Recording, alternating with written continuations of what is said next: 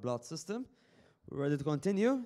And uh, next up, we have uh, a topic, I guess, which has been of a bit of a hot topic in the sense that a lot of people are scratching their heads around it. Um, and that is, of course, the topic of taxation, especially when it comes to the taxation of cryptocurrencies. How are they dealt with? Under which regime should they fall under? What about anything that falls under one jurisdiction but not the other? So how is all this treated?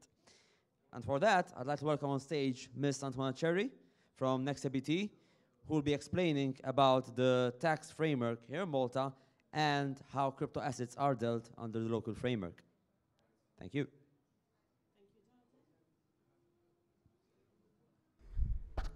Good morning. Yes, as Jonathan said, a very, very hot topic. However, I'm proud to say that Malta has, in terms of the tax side, as well as other regu regulatory, from the regulatory side, has given some certainty and clarity to those wishing to set up in Malta um, in relation to this evolving industry. So, um, what I must say to start with is that there is no specific regulations in the Maltese tax um, regulations or in Maltese tax law specifically targeted um, around the taxation of cryptocurrencies and income or gains derived um, from cryptocurrencies. However, what we do is that we take the general concepts, the basis of taxation in the Income Tax Act, um, general regulations and principles um, to determine taxability or otherwise of a particular transaction involving cryptocurrencies in Malta.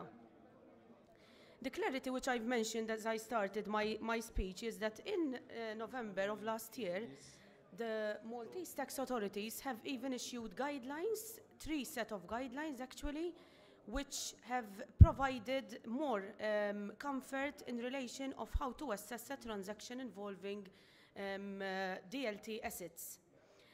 Um, these, the three set of guidelines were actually issued. One is an income tax guideline, which provides the, a guideline to practitioners and also uh, players in the industry on income tax. Another guideline is in relation to value-added tax and another set of guidelines in relation to stamp duty, more relevant in the context of tokens.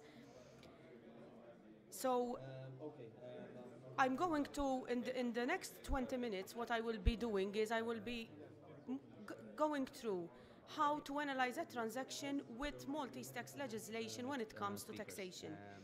As with any other transaction, not just cryptos, one have to first establish the status of the taxpayer whether the taxpayer is a person who is, or a company, resident or domiciled in Malta. So the first step to undertake is to determine the status of the company or the individual realizing an income or gain from cryptos.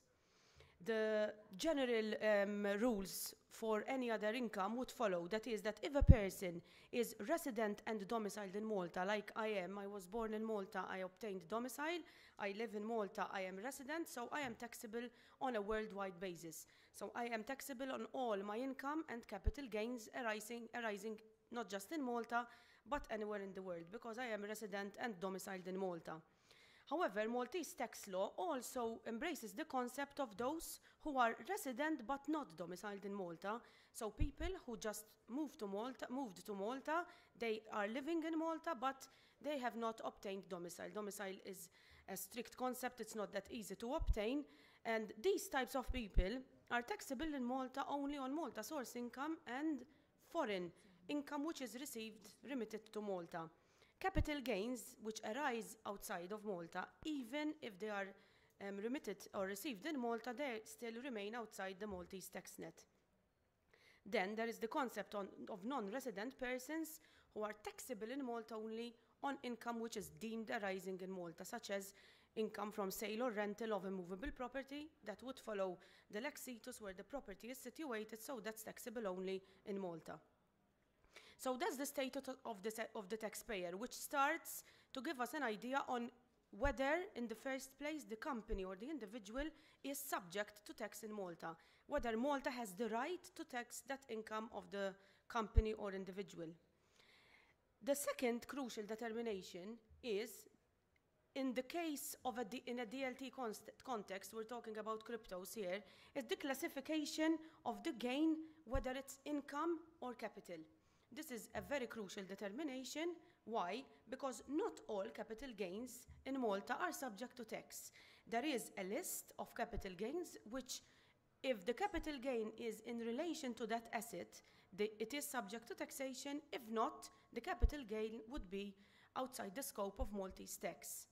So the crucial, I must say, very crucial determination, determination, even when it comes to cryptos, is whether the person realizing income is actually realizing a trading income or a capital gain. The distinction is very important, as I said previously, and it is sometimes the difficulty which arises how to determine actually if the, the gain is a capital gain or if it, it is in the course of trade. And in order to establish these, and these are also mentioned specifically in the guidelines issued by the tax authorities, is that we use the badges of trade. These were developed in 1955, and we commonly, very commonly, use the badges of trade to determine whether the person is trading or the gain is of a capital nature. There are actually about nine badges of trade, but not by just satisfying one badge of trade, you can say that the income is of a trading nature or not.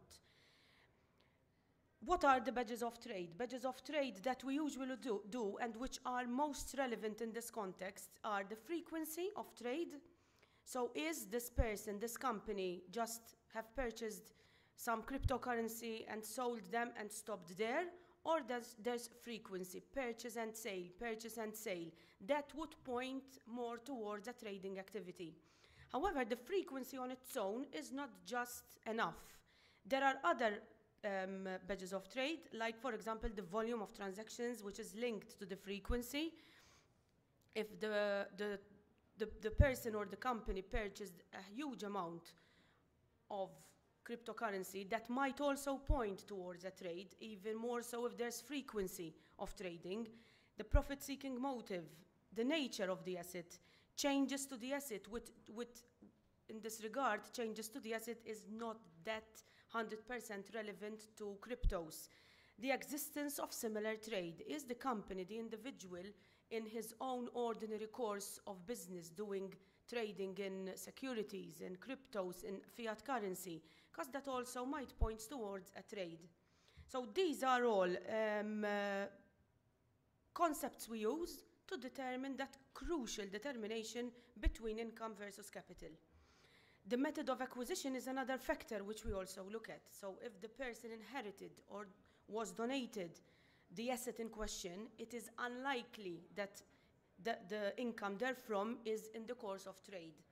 But not every situation, every situation is different. So not just one badge of trade gives us the determination. It is the package as a whole, the individual, the company as a whole that determines capital versus income. The list, so if we determine that the income is of an income of a trading nature, there's the rules of taxable income in the case of, of trading income, which I will go through in the next slides. If the gain is determined to be a capital gain, it might not be subject to taxation in some cases because Article 5 of the Income Tax Act lists assets which are treated as taxable if a capital gain is realized, and these assets are immovable property, securities, intellectual properties, and beneficial interest in a trust or in a partnership. This is the list of the assets. Um, it's not an exhaustive, but the most common ones that is subject to tax if a capital gain arises. So we have so far spoke about three crucial determinations. That is the status of the taxpayer, residence, domicile, both, one of each, um, either or is missing.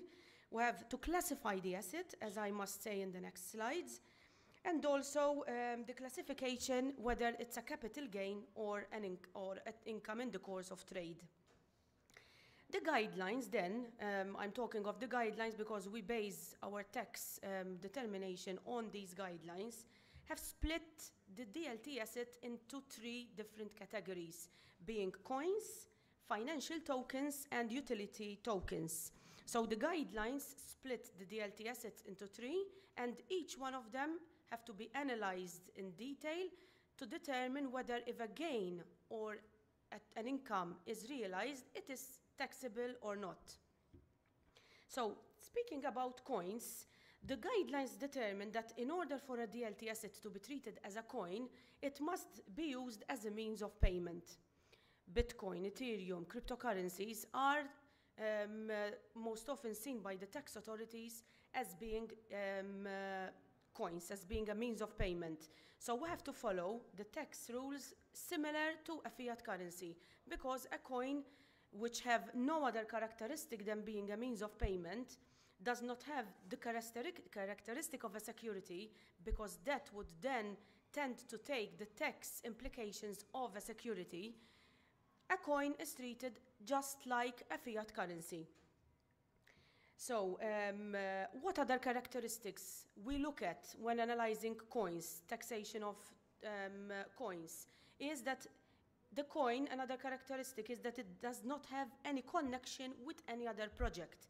Reason being that then we would have to follow the tax implications relevant to um, uh, tokens, to security tokens um, or utility, rather utility tokens, if the coin have any characteristic with any, connection with any project. It's not related to any redemption of good, so it's just a means of payment. It, it cannot be redeemed for a good or a service, because that then would take also the characteristic of a utility token. Specifically, the guidelines refer to coins as cryptocurrencies. In this case, what is, once we determined that we are talking about a coin, a means of payment, what are the tax implications? The tax treatment is identical to that of fiat currency, and one has to determine whether coins are held for trading or are tax, um, a capital gain. So if I'm trading in cryptocurrency currencies and I realize a gain, that gain is trading income in the course of business being a company or an individual, the system works the same, and that income from coins is taxable.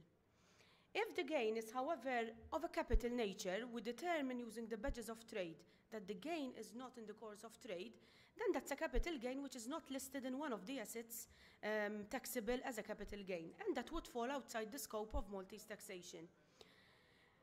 With respect to mining of cryptocurrency, in the guidelines, the authorities specifically mentioned that gains or profits on revenue account from mining should be treated as income and therefore subject to taxation. These are guidelines, um, so we usually take a case on its own, and whenever the good thing about Malta is that it's a small country, the revenue are also approachable, so if there is any clarification required, we would um, approach the authorities on any particular, for example, coin or token um, to get more clarity. So with respect to coins, if it's of an income nature, it's taxable. If it is a capital gain, it's not taxable because it's not one of the capital assets. I don't know if there are any questions specifically related to coins before I move on to financial tokens. The good thing, one last point in relation to coins, is that the Maltese tax system is a self-assessment system. So basically it is the taxpayer, the company or the individual who fills up their own income tax return, decides what income is taxable and what is not, and submit, submits it to the Maltese tax authorities every year. Then it is up to the tax authorities who have the right to ask for further information. So it is always advisable to keep record of everything to, sort of have um, uh, the conclusion why it's income, why it's capital, why it's taxable, why it's not. But being a self-assessment system, it's the taxpayer, sometimes um, uh, with the help of a tax advisor, to determine all these um, determinations on whether the income is taxable or not. The second classification in the guidelines is financial tokens. So um, uh, it's uh, the characteristic which, for tax purposes, classify a DLT asset as a, secure, a financial token is that the token will be similar to equity, have the characteristics of a security. And the income realized usually from a security. So the token must give the right to dividend, must give the right to income which is similar to income which is usually connected with shares or security, or to interest like bonds, payments from unit, units in a collective investment scheme, payments linked with the performance of a specific asset like a derivative. Another characteristic, characteristic to classify a DLT asset as a financial token is that it grants rewards based on performance of the company, like voting rights, represent ownership in assets. All these point toward, towards the asset being classified as a financial token, and then we have to go to what the law says in relation to financial instruments, to securities. What does the law say in respect to income or gains in relation um, to security? Income from financial tokens is usually taxable according to the nature of the income, that is, whether it is similar to a dividend, interest, or other returns. A good thing to mention at this point is with respect to dividend income, Malta embraces the concept of the full imputation system, whereby if a company pays, when the company pays the tax, dividends flowing upwards to the shareholder is not further taxed in Malta, because the tax paid at company level is imputed in full at the level of the shareholder. So if the income generated from the financial token is a dividend, the taxpayer would register in Malta, declare that dividend. There's also some options not to even declare if that result in no further taxation. So that's the income resulting from the token. Then there is income, the gain, if the token is disposed, it's transferred or sold. In this regard, um, income from the sale of financial token is taxable as trading income if the taxpayer trades in financial tokens. So if the taxpayer is trading, then that's taxable. Any gain is taxable. The, another important consideration then what if it is a capital gain arising in relation to a sale of a token? It's not trading, it's a capital gain from the sale of a financial token. In this respect, um, it will still be subject to capital gains tax in Malta only if a criteria is met, that, it, uh, that is only if the financial token is, meets the definition of a security in terms of Article 5 of the Income Tax Act. And the security is defined. So it is easy to make such classification because a security is defined in Maltese tax law. It is defined as uh, particularly if they participate in any way in the profits of the company and their return is not limited to a fixed rate of return or if they are units in a collective investment scheme or units and such like instruments relating to long, linked long-term business of insurance. So what we have to decide is whether it's, again, trading income or a capital gain. If it's trading income, it's taxable. If it is a capital gain, a step further. Is the capital, is the, the financial token, does it meet the definition of a security? If it does, then the capital gain is subject to taxation in Malta. So basically, the guidelines give clarity in that they give clarity also on how to determine whether it's income or capital, how to classify the asset, and how to tax the asset accordingly. I don't know if there are any other que any questions in relation to financial tokens before I move to the last point in relation to uh, um, uh, utility tokens. Okay, I assume that everything is, is clear. The, another classification, the, the last classification, is utility tokens mentioned in the guidelines. And how are utility tokens characterized to be able to take the treatment, the tax treatment applicable to utility tokens? Utility tokens, the application, the, the application of such tax treatment is restricted to the acquisition of goods or service, services, so the token is linked to the acquisition of a good or a service issued, either issued or within the DLT platform in relation to which they are issued or limited network of DLT platform. So what is a utility token? It is a token which gives the investor, the holder, the right to acquire goods or services in the future from that company. That is as simple a, a utility classified as a utility token.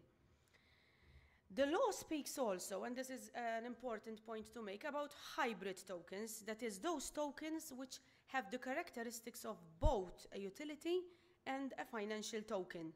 In that case, we have to see at that point in time, it follows more to be a security or a utility token and take that tax treatment. What is the tax treatment of utility tokens? Utility tokens are uh, not expected to generate any income to the holder. So once the holder of a utility token has that token, it doesn't generate any income per se. But the holder can actually sell that token. So utility tokens, even in terms of the guidelines um, issued by the tax authorities, do not in themselves generate any revenue. However, the holder can go on an exchange and trade the token, can sell the token itself. The sale of utility tokens is taxable in Malta if the seller trades in tokens. Again, if it is in the ordinary course of trade. So if it is in the course of trade, then it's classified as trading income and it's taxable. If the gain, however, from the utility token is of a capital nature, the gain should not be taxable. Reason is that utility tokens are, one, are not one of the listed assets under Article 5, which, if sold, are taxable as a capital gain. So the law splits the DLT assets into three, which we have seen, coins, financial tokens and utility tokens, and the tax treatment is rather simple, I must say. So three crucial determinations, income versus trade, what is the asset, what is the status of the taxpayer, a resident, a domiciled of Malta, to arrive at the tax treatment. Sometimes the, the question is that what if I, but, but will I, am I conducting a trade? That is the, the most difficult um, question to answer. There's no one hard rule of trading versus income. There's case law, which we refer to, to determine um, this determination. The, the guidelines to the tax authority of the tax authorities also go into the value. So if my company is generating revenue and this revenue is in cryptocurrency, what should I do? Obviously, in Malta, the functional currency of a company should be, it cannot be the euro, but the company should report in euro. So taxation and VAT have to be filled in in euro, and there's a conversion process. The guidelines also speak about such conversion process, but it is important, and apart from value, the guidelines also speak of records to keep proper records on how values are arrived at. So there are obviously fines if records are not, are not kept properly, especially with respect um, to, to conversions, how to record the payments, um, etc revenue earned in, in a cryptocurrency is treated like revenue earned in any fiat in any other fiat currency. So there's no different treatment if the revenue is account is received in, in a cryptocurrency or not. The, the tax treatment is the same. And that takes me back from where I've started. Malta has not issued any specific tax, tax, tax regulation in relation to cryptos. We're using what we have the tax legislation that, that was already in place with some guidelines to determine the applicable tax treatment. Um, uh, I think that's all I had um, prepared, so for my 20 minute session. I do not know if there are any, any questions in this regard. Yes? Oh, thank you. Uh, thank you. I, if I make a work uh, and I, pay, I am paid with a security token, I will not have to pay tax. That's so it. if you're working in Malta, Yeah. so we determine that you're taxable in Malta because you're presumably resident. And your income, instead of paying your, your employer, instead of paying you in euros, he pays you in a token. No, that's not exempt because that transaction is not a transaction in relation to tokens, it is employment income. So we have to follow the rules for employment income. So instead of earning 1,500 euros a month, your salary is 10 tokens in a particular um, uh, entity. We have to value that token because that transaction has to be separate taxation of employment income. Then you will be the holder of the tokens. And then you have to determine whether if you sell those tokens, that's taxable or not. If they are a security, a financial token, when you sell that token, that is taxable. And then you have to see your cost of acquisition of that token, which would be what has already been taxed in your employment income. So, to, to, to, to answer your question, that's taxation of employment income, not taxation of the token. So your first determination is the taxation of the employment income, which is taxable. Employment income is of, of a Maltese source if carried out in Malta, so that's taxable, even if earned in a cryptocurrency or a token.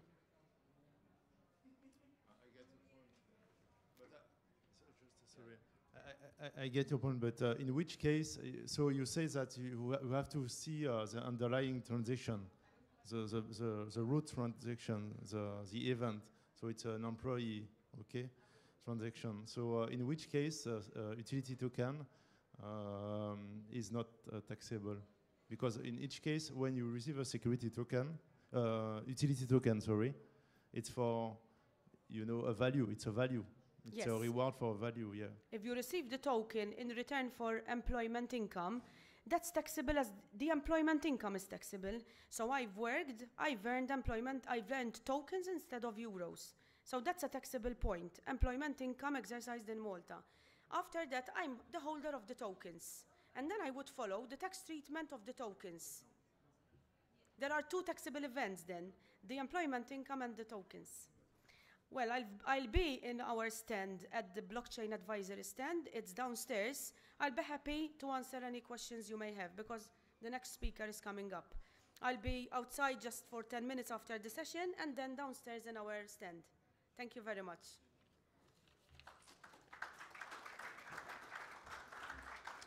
Thank you, Antoinette, for some great crypto uh, taxation insights. I suggest if you have any questions, Antoinette will be here. Uh, you can ask her, or uh, she'll be at the stand uh, number uh, stand G plus one. Um, so you can talk to her about uh, ev- any question you have. Uh, so our next speaker is Georgie. Uh, he's gonna talk about the use of smart tokens in securities field. Thank you. Thank you, Luca. So we had quite few lawyers today, and uh, I myself a lawyer as well. My background is um, I worked for five years in Deloitte in uh, financial services industry. I was a manager there in uh, tax and legal group. And um, in 2016, we started um, to work with blockchain projects uh, when ICOs were booming and when these were becoming mainstream.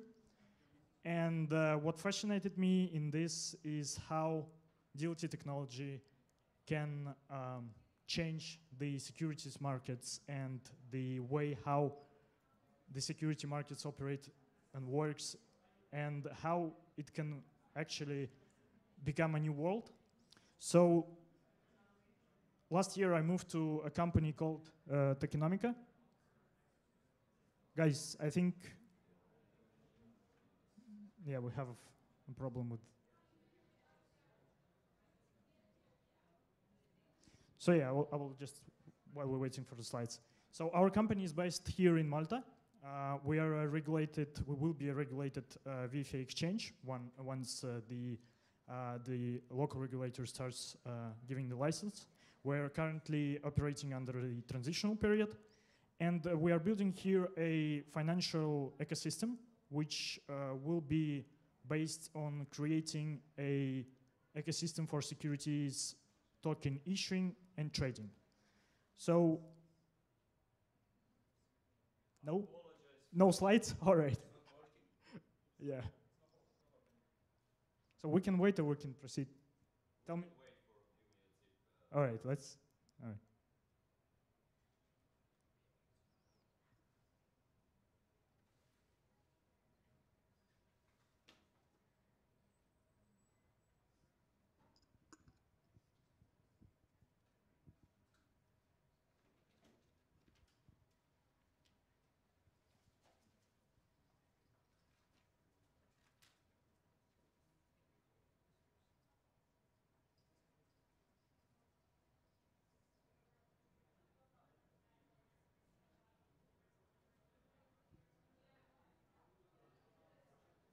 All right, so let's let's just go forward, and I will catch up once the slides are back. Um, so yeah, uh, the ecosystem that we are building will be uh, will have three main components. The first one, and is like the main one, is a platform to issue security tokens. Uh, we already launched a beta version. Uh, we have uh, couple of options available. Uh, basically, the main uh, point of the platform is uh, to be a um, unified place where projects can um, can create uh, legally compliant security tokens. So we are um, we are working with or on the basis of uh, Waves blockchain to create the security tokens, and we also connect uh, different uh, legal service providers to the platform in order to uh, allow projects to have everything, ev every documentation required to make a fully legal compliant issue. So the way it works is that the projects come to us, uh, select a financial instrument that they want to issue, and for that we help them as well. So they input basic information on what they want to achieve, and, they and we recommend them the type of financial instrument and the jurisdiction where they want to issue where they want to issue the token. Then we connect them with the legal providers and everybody else who is required to the token issuing, who are directly connected to the platform as well. And once everything uh, is done in terms of documentation, the project can issue the uh, the security token on the blockchain through the platform as well. Uh, the second main element is the secondary trading platform, and this is more based uh, in uh, having in mind the, the investors in security tokens. So once the, the token is, is, is, issued, it will be traded on our secondary trading platform. And the third element uh, is the one that I mentioned already, is uh, the VFA exchange, which is already launched here in Malta and available for trading which is uh, serving us to have um, crypto liquidity to the security markets.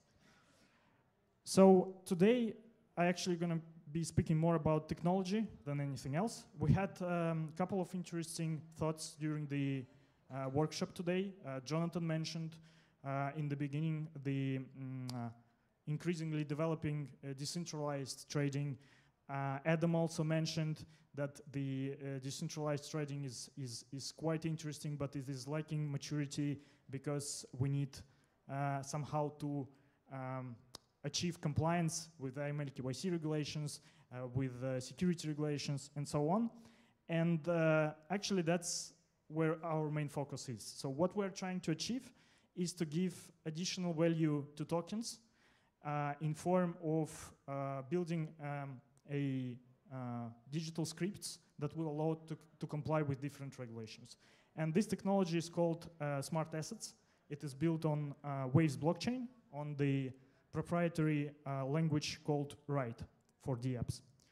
Uh, so basically, smart tokens are smart assets, uh, which means that they are unique tokens that contain uh, a unique set of rules, which is provided in the script of the asset. So I will just explain on examples. Let's take our VFA exchange that I mentioned. Um, as you know, here in Malta, there is a, uh, quite um, extensive regulation about what VFA exchanges uh, need to comply with. And uh, we actually built our platform as a decentralized exchange. So that makes uh, uh, it a bit more complicated to comply because we don't have a real centralized control over the client's asset. But um, those smart assets allow us to comply with the regulations in a way, in an effective way. So for instance, uh, Jonathan mentioned the, at the beginning that only um, assets that are qualified are, as virtual, virtual, financial assets can be traded on VFAs. So uh, that means that we can actually create a script in the token and build in this script the pairs that this token can be traded with. So for instance, if we want to allow this token to be traded only against utility tokens, because regulator prohibits other ways, we can do so. So we classify a token as a utility through the legal opinions and the compliance stuff, and we add this uh, specific token for to be tradable versus Bitcoin on our exchange. Meaning that if a client wants to make a trade with any other non-compliant token, he will not be allowed to do so, not by any centralized party, but by the script of the asset itself. And uh, the same happens with the users. So again, decentralized exchange is where users trade directly, uh, trade directly with each other. So there's no centralized counterparty that provide uh, trades to the, to, the, to the users. But as Jonathan as well mentioned, uh, there is a need to be sure that those users are compliant, so that they are not in the sanction lists, that they are uh, known, uh, they passed KYC checks by authorized provider, and so on. So what smart assets allows us is to create a white, whitelist, uh, a whitelist which is a database stored on blockchain, to which certain service providers, let's say AML KYC providers, can add addresses of uh, the wallets of the users that have passed the KYC checks. So once the smart assets, once a user wants to send a smart asset to another user, there is a two-step process. There is a check against this whitelist in the blockchain to find the address. Once the address is found, the asset can be transferred. But if the address is not included because the other user haven't passed the KYC check, the trade will not happen. So again, that allows us to still bring the decentralized trading, but add this compliance element to the, to the asset itself. So the asset script is the one checking the, the rules, the compliance with the rules. And uh, the second part, which is also uh, a part of technology of smart tokens, is a smart account. So smart account, uh, it's a classic crypto wallet, but it can be limited again by a script and uh, limited in certain ways that, for example, it could require a multi-signature for some operations. For example, uh, any amount which exceeds certain, certain, certain amount in cash can, can require a multi-signature from AML provider to make sure that like this, this because this amount is subject to source of uh, funds uh, approval, they will first check it and then sign the, sign the transfer and then this, this will happen. So this allows us to actually comply with those um, regulations that require for any reason to make additional checks before any amount is withdrawn, deposited, or transferred. And this, again, is included in the smart account of a user which is created on, on, on, our exchange. So I, I just added uh, practical um, examples, but what we are talking today, or we are going to be talking today, is how this smart technology can be used in, in securities field. So uh, there is a recent uh, like hype around STOs. We, we talked about them today as well. And uh, we see a lot of um, we see a lot of media and, and, other other guys in crypto in crypto world uh, stating some benefits of, of security tokens uh, and normally saying that it will reduce the listing fees, it will add a new layer of, of liquidity in form of cryptocurrencies to the security markets, it also will reduce the time of transaction and uh, will reduce the number of intermediaries and so on and so forth, which we agree with. But uh, our view is that actually tokens can improve the way how the securities market works right now. And this is done because of these technical features that I mentioned. So in our view, uh, securities tokens can provide customization, compliance, and automatization to security market. So by customization, I mean that you can create a security which can have at the same time different uh, characteristics which are not present in the current security world. So for instance, let's say you want to, um, to give the investors periodical fixed payments each, each quarter, for example. But at the same time, which is a characteristic of a bond. But at the same time, you want to give uh, the investor the ability to vote on certain issues. So this is some sort of hybrid between a share and a bond, which is not really, which does not really exist right now in the securities in the securities field. But you can do so by creating a, a token which will have uh, the fixed periodical payments, but again, which also will have the possibility to, to participate in voting. Then the compliance part. The compliance part I mentioned already. Uh, so, for instance, um, um, basically there are certain cases where, for example, the issuers can only sell tokens to qualified investors. You, they cannot sell it to retail investors. And this is achieved right now by uh, actually compliance teams or compliance checks by the issuer part or some sort of intermediaries that work, work with issuers. Or for example, cases where a share can be only be sold to another shareholder, so so-called preemption rights. Um, so these limitations can be, as, as I mentioned before for, for VFA uh, example, can be as well in, um, included in the smart asset. So for example, you can make a whitelist of current shareholders and make the token transferable only um, amongst those. You can create a whitelist of qualified um, investors and can on, and limit the, uh, the token and the script to be transferred only amongst those. So this is something that significantly uh, facilitates the process of, of compliance. And by automatization, uh, we mean that a lot of um, a lot of actions that exist in the in the securities field, such as corporate protections, payments, redemptions, and so on, can as well be automized, uh, autom can be automatically done on, on uh, with with the, with this with this technology. So uh, by having digital wallets on, on, on, on, on blockchain, the issuer always knows who are the holders of of the of the security tokens. This is not the case in the securities world because normally once the shares are issued, there are millions of, uh, of holders, and those are known by, by, the intermediaries who are acting as uh, payment agents, but not the, by the issuer himself. So he just makes one payment, and then this payment is distributed amongst different shareholders with the use of intermediaries. But here, we have a huge database which is at any time um, available for the issuers, and every, every distribution can be made um, using the DLT technology as well. So, yeah, and maybe maybe last case that I, I wanted to mention is the convertible uh, convertible securities. So there is um, uh, there are financial instruments that um, are issued. For example, you can issue a bond and say that if a certain condition is met, for example, once a certain period has passed, this bond will be converted into a share in a company. And there is uh, like two, at least two different processes. You first issue the bond and then you have to convert. And it also is accomplished with uh, service providers, intermediaries, and, and time lapse. Here you can actually uh, include those conditions into the script and say that, for example, during the first two years, the token will be paying fixed amount of um, of interest payment, which are normally used in bonds. And once this period is done, the token will like stop doing so and will provide you um, the right to receive uh, dividends from the company and right to vote in the company. And that will be done automatically using the smart, uh, smart asset technology.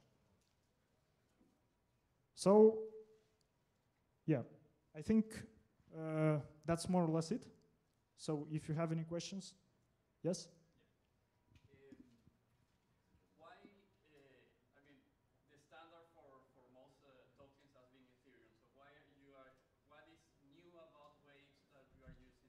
Yeah, uh, that's good. That's a good question. So the language that I mentioned, the Ride language uh, on Waves blockchain, is specifically created um, to build these smart assets and smart accounts um, let's say, smart tokens. So it is very customizable. So for us, uh, we, we need to make sure that everything that is needed for compliance reasons and everything that is needed for the issuers to make sure that investors will come can be customizable at the level of the script. Uh, and Waves technology provides us this, this possibility. We are also looking at Ethereum, and, uh, but with Ethereum, it's more on the level of the developers of smart contracts where yes, there are developers who can achieve that level of customization, but is not, it is not mass, uh, mass adoption because uh, here we, we, actually can create a couple of templates. We can give them to a project and they can like, you know, select the, the data and issue a token on, in Waves blockchain. So it's, it's easier. And as well, uh, in terms of costs, uh, there is no gas on Waves blockchain and the transaction fees are very low, as well as the fees to create a smart, a smart, smart asset. So uh, when we are talking that like security tokens will be um, more convenient for, for the investors because it will cost less to transact with them, the listing fees will reduce, we need to make sure that the technology also allows us to do so. Because if we're going to pay a lot of uh, commission to nodes, we, will, we, won't, we won't be achieving that. But uh, uh, just, just to make sure we are not limiting to waves, it's just right now we are looking at solutions that can, can provide us this, you know, Any other questions? Okay, thanks, sir. Thank you, Georgiy. Our next speaker is uh, Dr. Joshua Ellul. Uh, chairman of Malta Digital Innovation Authority. Um, is there a clicker? Oh, actually, use this one. Um, It's uh, this one. oh, Is but it I have working? this. Hello, hello, hello. Yep. You can put it. And a clicker. Do you have a clicker? Um, Yep. Georgiy. The where did you put the? no worries. Excellent. Thank you. Okay, um, so just to introduce myself, um, I'm, yes, the chairman of the Malta Digital Innovation Authority, um, but I'm also the director at the Center for Distributed Ledger Technologies at the University of Malta. So I, I wear these two hats. One hat where we're really looking at innovation, of furthering uh, the, the academic field, and the other hat where we're looking at how do we provide regulation on this innovation without hindering the innovation. Um, so when we're talking about um, blockchain technology, we're actually talking about really software.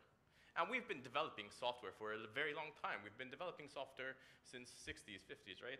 Where here's an early operating system, DOS. Uh, we've had huge advancements in time. Now we have excellent GUIs, we have browsers where you can use loads of services just by logging onto your, your web browser, mobile phones, the Internet of Things, the next revolution, perhaps where computational devices will be embedded into the environment, robots using artificial intelligence to provide some useful uh, services for the users. And also, if you look about a decade ago, or, or, or perhaps a bit more, we also had peer-to-peer file sharing systems. And really and truly, when you think about blockchain, blockchain is a peer-to-peer system where every node is equal in the system. So we have experience developing this software, right? And software just works. We've gotten really good at writing software. We write our software, we release it, and it works. No problems, right? Well, wrong. Um, I'm sure you've all seen at some point or other uh, the blue screen of death. It's happening less and less over time, or the beach ball spinning on your Mac system, or even web browsers crashing, which could be due to the web browser bugs, or even due to HTML code, which causes, or JavaScript code, which causes this code to crash. Mobile phones bricking, or even robotics themselves crashing due to some bug in the software. Um, but it's not just about software.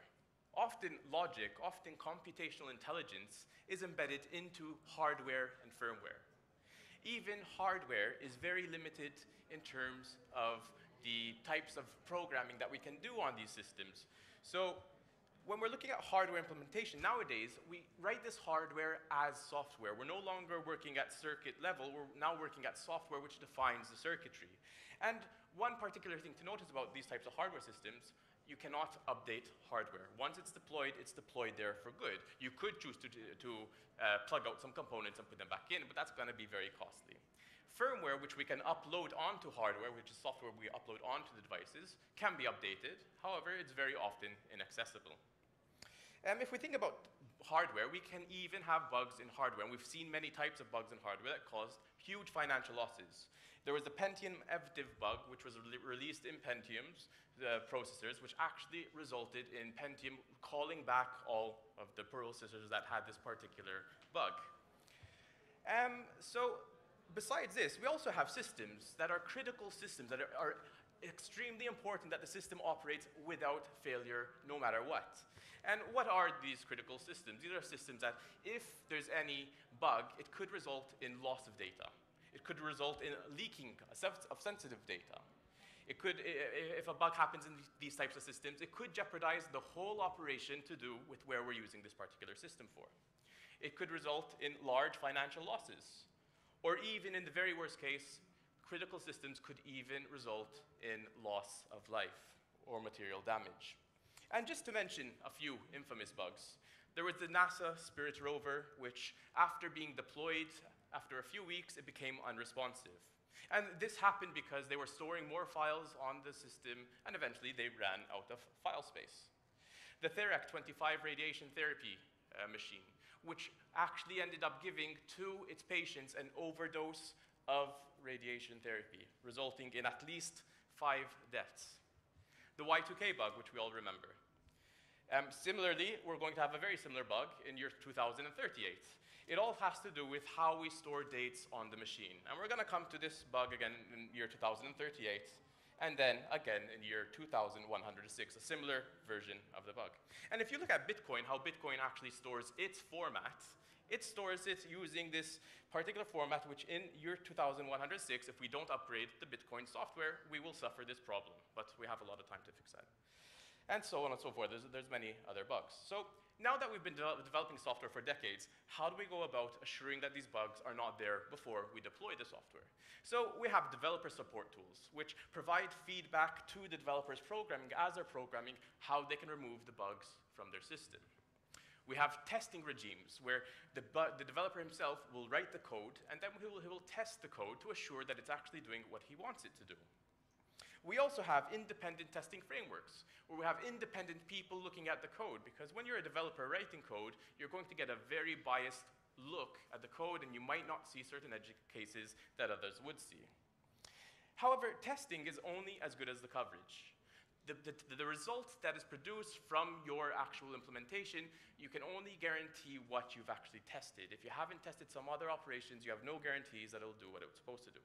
And to make matters worse, there are even types of bugs, which we call Heisenbugs, which are bugs that we, when you try to find them, when you try to look at them, they just freeze and they act like they're, they're not there. So they're bugs that only uh, act as bugs when you're not interrogating the system. And th there's this comic which tries to depict that. So um, the computer works fine when you're looking at it, but not when you look away. And these bugs exist because of the types of systems that we write, which are often involve different processes running at the same time. Um, so what else can, we do? We can have implementations of static verification. So what static verification is, it's a process where you define a specification. You define what you expect the program to do, not how it's implemented. And then we have these tools that will match what you expect it to do with how it's implemented. It will test to see if it's actually doing what you expect it to do. And we have these tools that, yes, report back. The program is doing what you expect it to do. Brilliant. However, static verification suffers from the fact that it takes a very long time to prove these specifications. And there's some work out there called runtime verification, which tries to fill in this gap.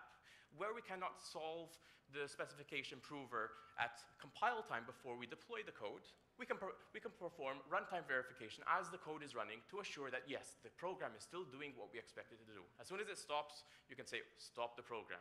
It seems like you're going to send money to an account that is going to be locked forever. Stop, whatever the, the property is. However, both these techniques, the ver verification techniques, suffer from the same problem. The, the test, the, the, actual assurances provided are only as good as the verification specification fed into the program. And when all else fails, we have code fixes. We find a bug, so we deploy a system, we find a bug in the system, the programmer investigates what the bug is, writes some code updates, deploys it, and it's fixed. Brilliant. Is this good enough? Yes, for many applications, it is good enough. For web-based enterprise applications, it's often good enough. However, when we're talking about safety-critical applications where lives are on the line, huge financial losses are on the line, uh, material damage is on the line, then no, this is not good enough. And also, where systems require that the code is uploaded once and only once, you cannot deploy an update. So for these sort of scenarios, what we have till today, it's not good enough, unfortunately. Now, enter smart contracts, the blockchain world and the provision of decentralized computation of smart contracts, which bring along with them user assurances. We can now allow for the decentralized computational execution of logic which guarantees to the users that the smart contract is doing what they signed up to do. They can look at the code and say, I agree to this, and it, the, the system, the blockchain system is definitely going to execute what they signed up to. However, it's very important to note that code that is executed on a blockchain is immutable. The code uploaded can never be changed. So it has a, a very similar property to the hardware-based systems that we've been looking at. Also, um, the advantage to, well, now this is an advantage, uh, it being immutable as well. So when you sign up to a contract, you know that they can never change that code, they can never change that contract under, uh, with, without you knowing. So it's definitely guaranteed to do what you signed up to do.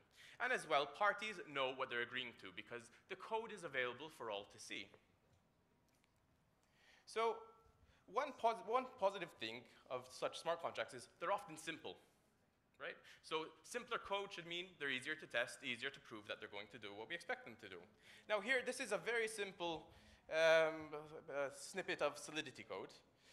And, all, and I'm actually going to explain it. Um, so this line over here is increasing the user's balance by an amount sent in. So this code over here allows for a user to send into the smart contract an amount of uh, let's say money, cryptocurrency, whatever. In this particular case, it's Ethereum. So I can send in an amount of Ethereum, Ether into this contract, let's say 100 Ether, and then in future, this contract should only allow me, as the depositor, to withdraw my 100 Ether. Someone else could also put in their 50 Ether into the contract, but it should make sure that only they can withdraw that, that Ether. So this line over here increases the user's balance by the amount sent in. And then in the withdraw, so we have two functions. We can say that, let's say they're, they're, buttons that you can press. So you can press the deposit and pass Ether in and increase your balance, or you can press the withdraw button and uh, uh, withdraw your money to your particular account.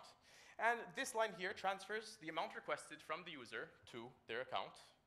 And then the next line decreases the user's balance that we're storing inside the smart contract by the amount that they requested. Now, if there's any technical people in here, please don't say what the problems are, because they should be immediately obvious if, if you're familiar, familiar with Solidity. However, there's a problem here. What happens if first user 1 deposits 10 Ether into the system, so we have 10 Ether stored in user 1's balance, and then user 2 withdraws 10 Ether? We're not checking when we press the withdraw button. We're not checking that this user actually has uh, that amount of Ether to withdraw. We're just going to send out users 1 Ether to user two, right? So that's a problem. So what can we do? The smart contracts are defined by the logic which is actually implemented. We can implement the check to assure that we check that the particular user has that ether. So we can add this require statement. And this require statement does nothing more than check if the amount is greater or equal to the balance of this particular user. Fantastic, right? It looks like this code is now doing what it's supposed to do. But there's still a problem. There's a problem over here on these two lines, where we're transferring the amount the user requested, and we're decreasing the user's balance by the amount requested. And the, the, the, the problem isn't obvious if you're not a coder. Um, to say the truth, it's even not obvious to many coders out there. The problem here has resulted in millions of euros lost. And it has to do with switching the statements, and I'll explain why that has to be done. When we send an amount of cryptocurrency to a wallet, a wallet address that is going to receive this cryptocurrency. It can both be a wallet, but it can also at the same time be another smart contract. And when we're sending money to another smart contract, that smart contract can execute code. So you could have code as soon as it receives that amount in that smart contract, which calls the same button again before we've managed to decrease the balance. And this malicious user can say, I want my 100 euros, call his smart contract, which calls the same withdrawal button again, and he'll end up getting another 100 euros, 200 euros, and he can keep doing that until he stops.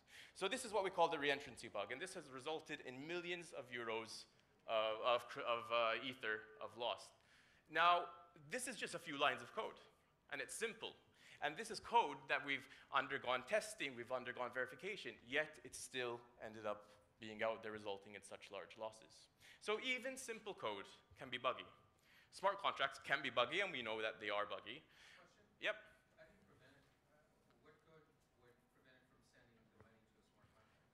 So the, the solution over here would be to just flip the lines.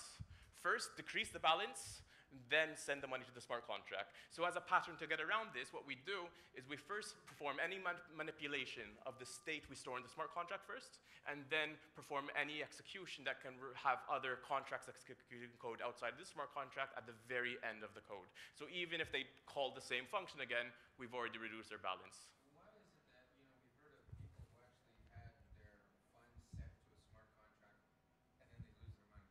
Okay, so there's different types of bugs out there. So let's say we wrote this code over here, deposit, send it into the smart contract.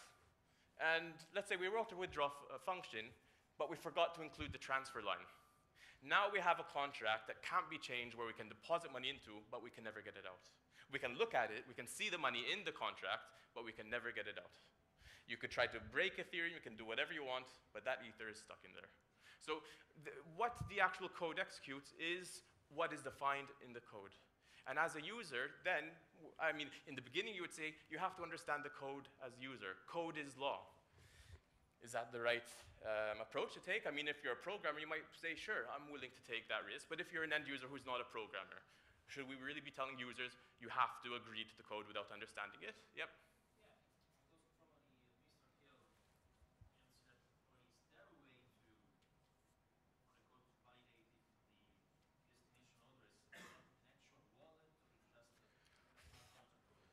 Um, so I would say, uh, more often than not, the answer is it depends. In Ethereum, I do not believe you can tell what type of account you're sending to. I'm not sure on that, but it depends on the architecture that you're using. If there was a function in the architecture that said, is this an account or is this a wallet?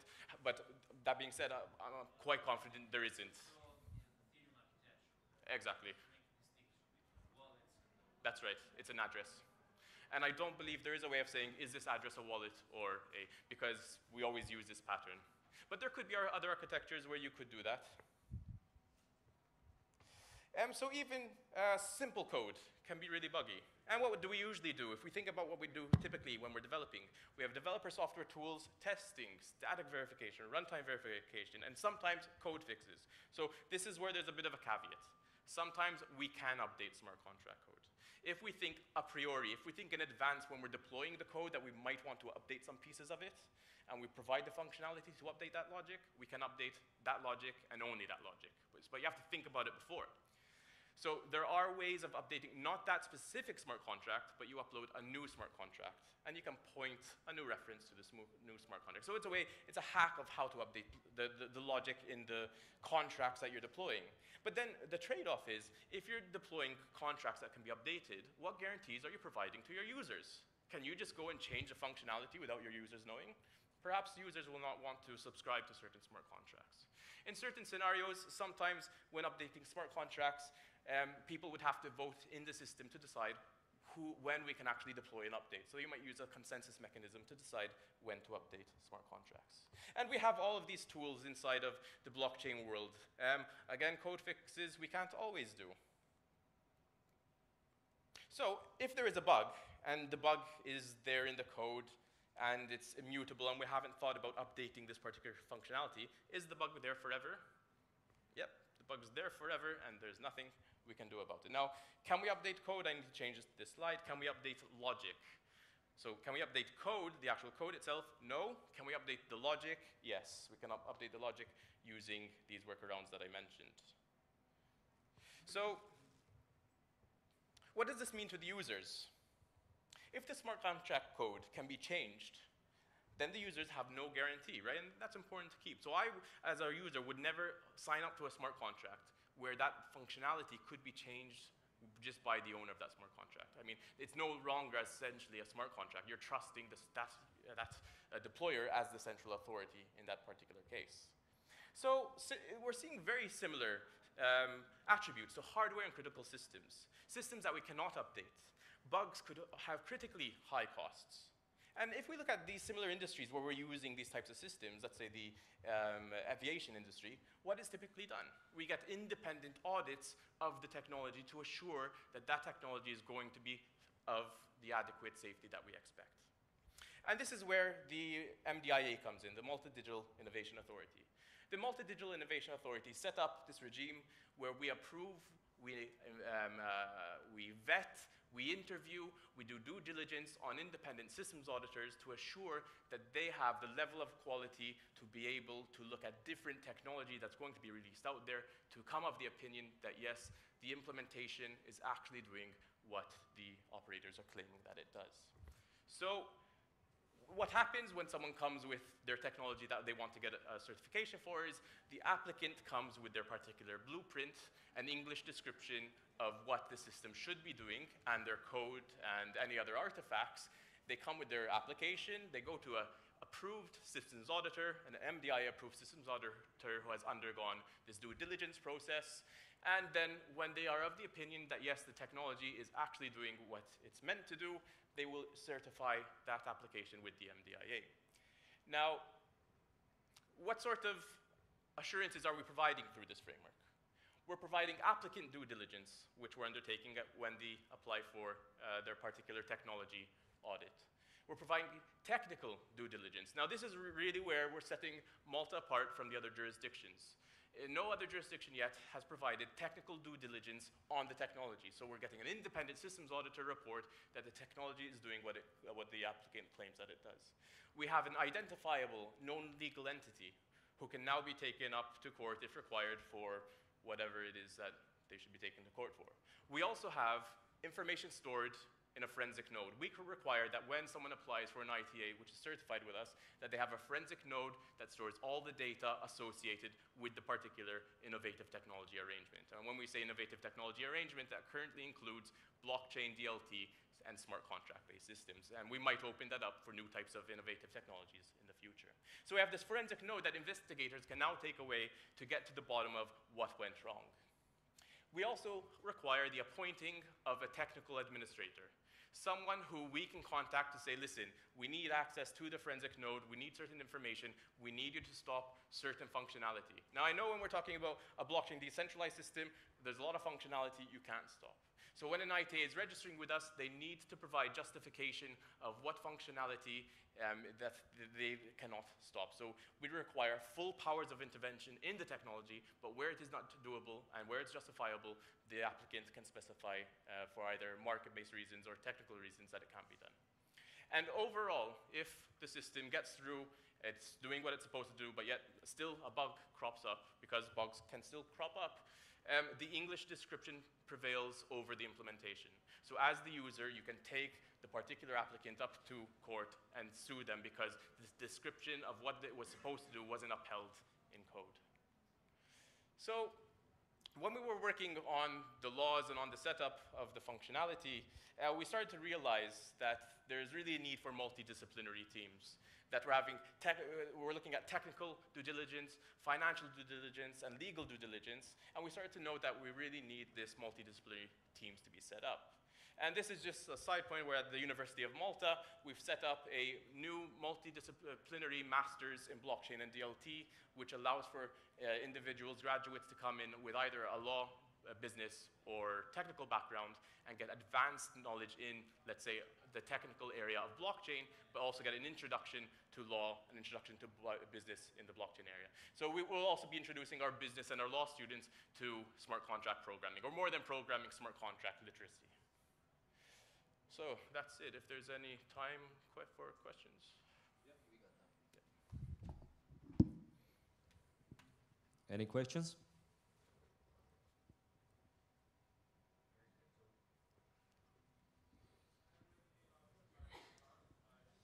So, um, in relation to um, open source, open, decentralized um, uh, platforms, um, um, when it comes to the role of the technical administrator, is there a change in his particular role as opposed to, let's say, um, permissioned uh, closed source uh, technology arrangements? So the technical administrator is the person who the applicant defines to be that individual who will be the person to contact. And we need a known person, right? So it's not necessarily the same person who's handling the technical administration of the, so of the open source project themselves. So it's not, um, it could be, but it's not uh, necessarily that person. Um, when talking about open source projects, um, our, our model could be applied quite nicely to different types of open source projects. N now that we have this regime of providing assurances on technology, should we also be considering all types of technology, not just blockchain DLT. Because when we're talking about an open source community developing things around the world, uh, how are we going to give assurances to the users of the system? So can we come up with a regime which is more adequate for all types of open source projects is something we're currently considering. Thank you. Any other questions? Okay. Round of applause. Thank you very much, Dr. Ellul. And of course, this is another prime example of how Malta is, uh, I would say, one of the leading jurisdictions when it comes to the um, holistic regulatory framework that has been enacted. We're not just focusing on the legal and the financial parts, but we're also covering the technical aspect as well. I hope you found um, uh, this session um, useful, and uh, I'd like to welcome on stage a person without whom blockchain advisory would not have been possible. This is my colleague um, Anton Dalli. I normally take care part, uh, take care of the regulatory aspect. He takes care of the technical aspect, so we complement each other quite well. So another round of applause, please, for Anton. Thank you, Jonathan. Um, ladies and gentlemen, I know it's way due past uh, lunchtime, so I promise I'm not going to keep you too long. Uh, I hope you found this uh, workshop this morning uh, useful and fruitful.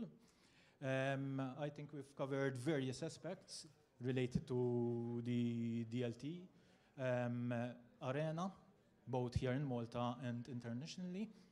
Um, uh, various topics were discussed in relation to cryptocurrency exchanges, the aspects of running a regulated exchange in a regulated environment such as in Malta.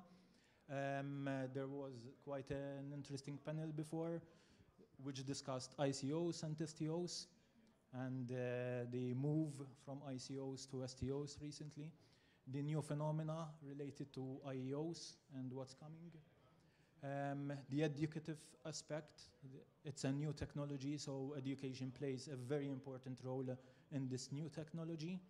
Um, we also um, discussed, um, and I think Josh um, had a very, very insightful presentation, and one who, so for someone who's not technical, it's important to understand um, that although we say that blockchain is a secure technology, obviously it depends on the developer that is developing that system.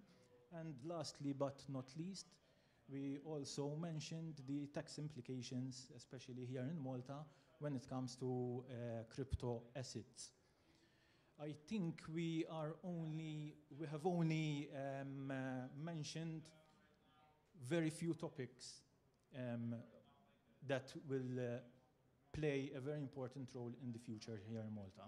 Um, apart from the regulatory aspect, I think Malta is playing an important role in building the ecosystem that is required to actually attract uh, companies, both um, uh, companies that are already operating in the industry, but also those startups with projects, innovative projects that aim to actually implement projects that will be used by businesses in the traditional uh, sense and also the public at large. I think this will play a very important role in the future because obviously it's useless. We have all these conferences, we're always speaking, but we do not have real life applications for the blockchain. So I think that is a very next important next step. Obviously, for those companies that need or want to set up in Malta, one requires support locally. Um, we, as blockchain advisory, can um, offer such support. Um, we can offer VFA agent services. We can offer systems auditor services, which um, uh, Dr. Ellul was mentioning before.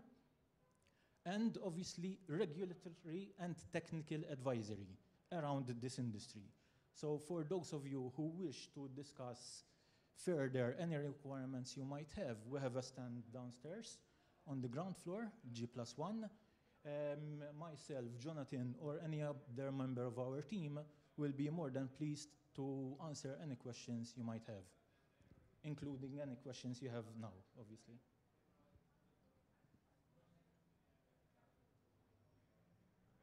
Thank you. Thank you for joining us.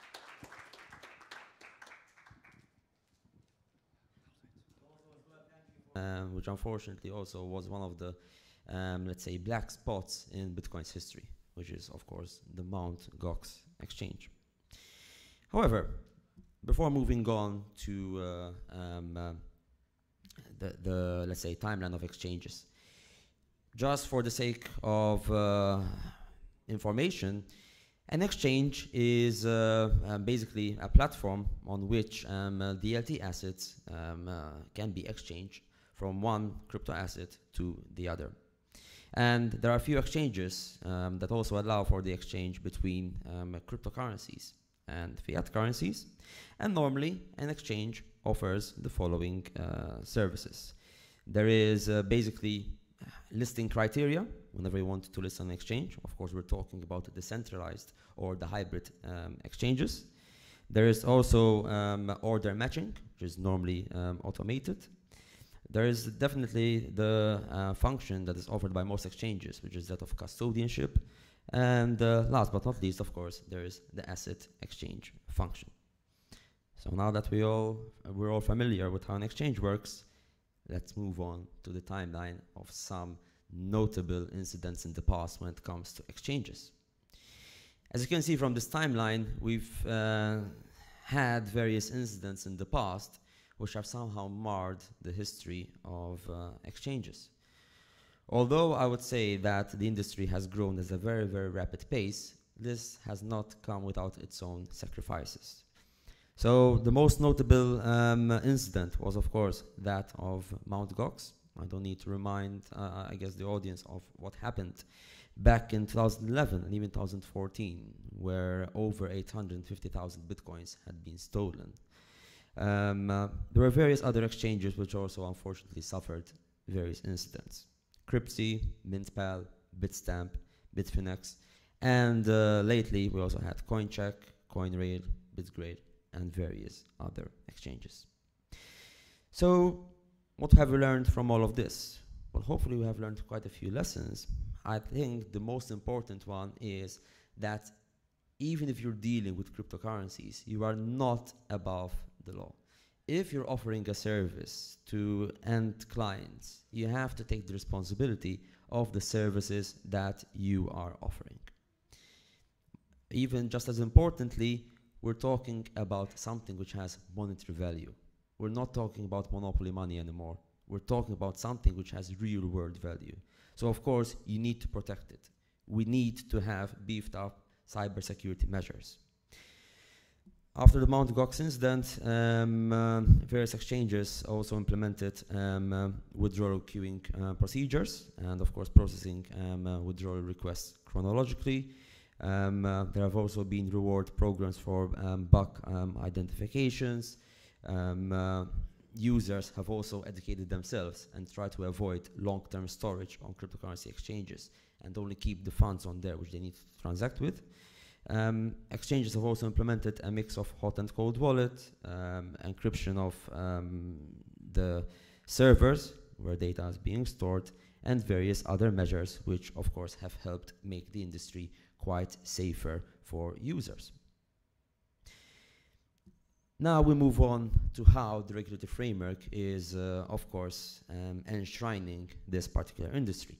And I would say that one of the pillar stones of the regulation that applies to exchanges is precisely AML, anti-money laundering. And this has, of course, always been one of the main concerns for the regulators. In the past, um, uh, Bitcoin was uh, used on some platforms such as uh, Silk Road. We've moved beyond that. People are now actually recognizing the fact that, again, Bitcoin is not just a tool for money launderers. It goes way beyond that in terms of positive use, and it is basically something that actually affords the regulators more oversight than traditional fiat systems. The fifth EU AML directive, in fact, uh, regulates, um, or rather, will seek to regulate exchanges and wallet service providers. The Maltese legislation goes beyond that and also brings within its remit other service providers and also issuers. Normally, under traditional systems, um, uh, the persons are known, but the transactions tend to be unknown, especially on in cash um, uh, focused um, economic systems. Cryptocurrencies tend to follow another pattern altogether, whereby initially the person might be unknown, but the transaction is always, always known. At least, of course, in those ledgers which do not obfuscate the transactions.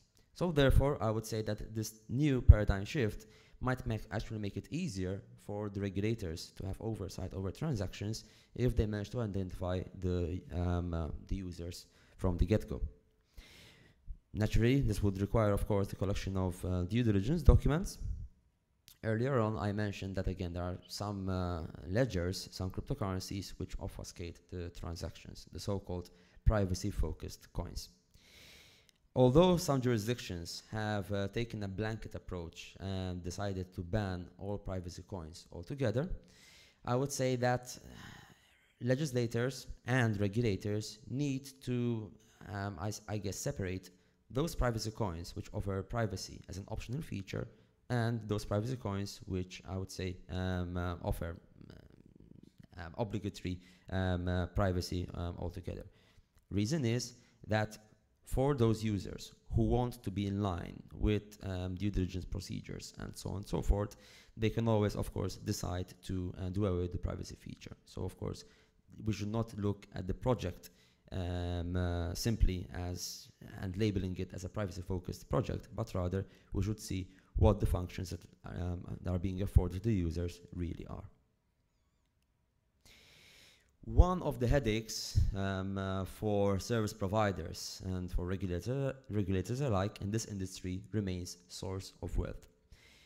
We're not talking about source of funds, um, because basically source of funds can always be um, verified in one way or another. But when actually dealing with people who might have um, their source of wealth as coming in from, let's say, mostly cryptocurrencies, it might be the case, or rather, it is often the case, that people who generated their wealth in cryptocurrencies had invested in them a number of years ago. Let's say four or five years ago, when there were absolutely barely any, um, I would say, tools in order to, uh, to track how you're actually um, investing and trading your cryptocurrencies, were still, even if they were using certain exchanges, it is quite likely that those exchanges have shut down. And therefore, you can't request any records for any transaction history. So when you go and submit your documentation, and people ask you to actually uh, substantiate your source of wealth with, let's say, transaction history, and you're unable to provide it, that indeed is a bit of a stumbling block. There's also another issue with regards to the verification of the owners of wallet addresses. And although there are various methods which one can potentially use, such as, for example, sending um, um, a small amount in tokens to verify that you are the owner, in the case of Bitcoin, potentially making use of colored coins, and so on and so forth, this, of course, remains a bit of an issue since private keys can easily be trans well, given to one person or another. Some exchanges are also making use of the so-called crypto forensic service providers. However, I haven't yet seen anyone is providing a perfect solution to this particular issue. Still, at least, solutions are being worked upon.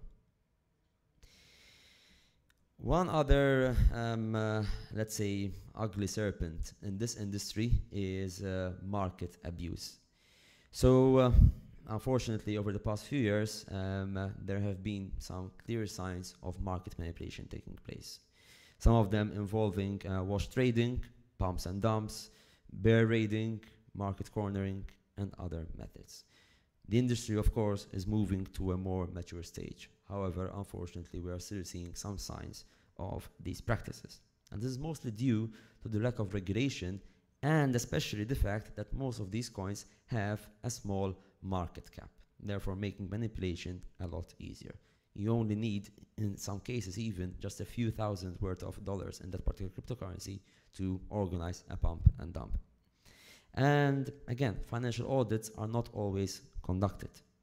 We also, of course, um, uh, have the, the fact that there are still um, uh, a lot of jurisdictions that are not regulating the space, and therefore there's no need for financial auditing and so on and so forth. And of course, these practices are instilling doubts in the mind of regulators. What I would say is that there needs to be international cooperation in the space. Cryptocurrencies are, again, globally reaching. So therefore, we cannot just, again, look at legislation on a local level, but rather there needs to be international initiatives. And in fact, from our end, for example, we are currently trying to work on an international initiative to push for exchange transparency. We have been in touch with the Japanese regulator, the Maltese regulator, and other regulators as well.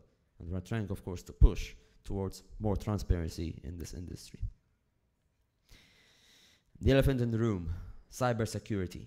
Again, as I mentioned, there have been various incidents in the past, and this remains one of the major concerns. Criminals are no longer raiding old people's homes and searching for money under mattresses. They are now targeting um, uh, exchanges, banks, and other, of course, uh, service providers or license, license entities which are holding a large stash of money. And uh, apart from that, there's also the technical infrastructure being used um, in this industry. We are, of course, advancing at a very rapid pace, but still, trading engines, for example, we have, we have seen various exchanges in the last couple of years simply coming to a halt because they couldn't withstand the sudden increase um, in trading volume. And cybersecurity, as well as providing an efficient platform for trading, are two obligations which you actually owe to the traders, to the users. The terms and conditions should actually stipulate that you can provide a safe place for business for these users.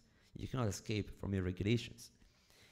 We talked about financial auditing in the last slide. Again, technical audits. How many exchanges are actually undergoing these kind of technical audits? What happens in the case of loss of funds? What are the remedies?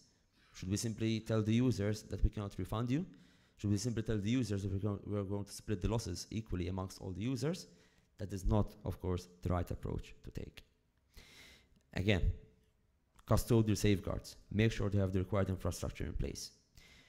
In terms of technical developments, we are seeing, of course, um, hybrid decentralized exchanges cropping up, which are, of course, addressing some of the concerns that we have.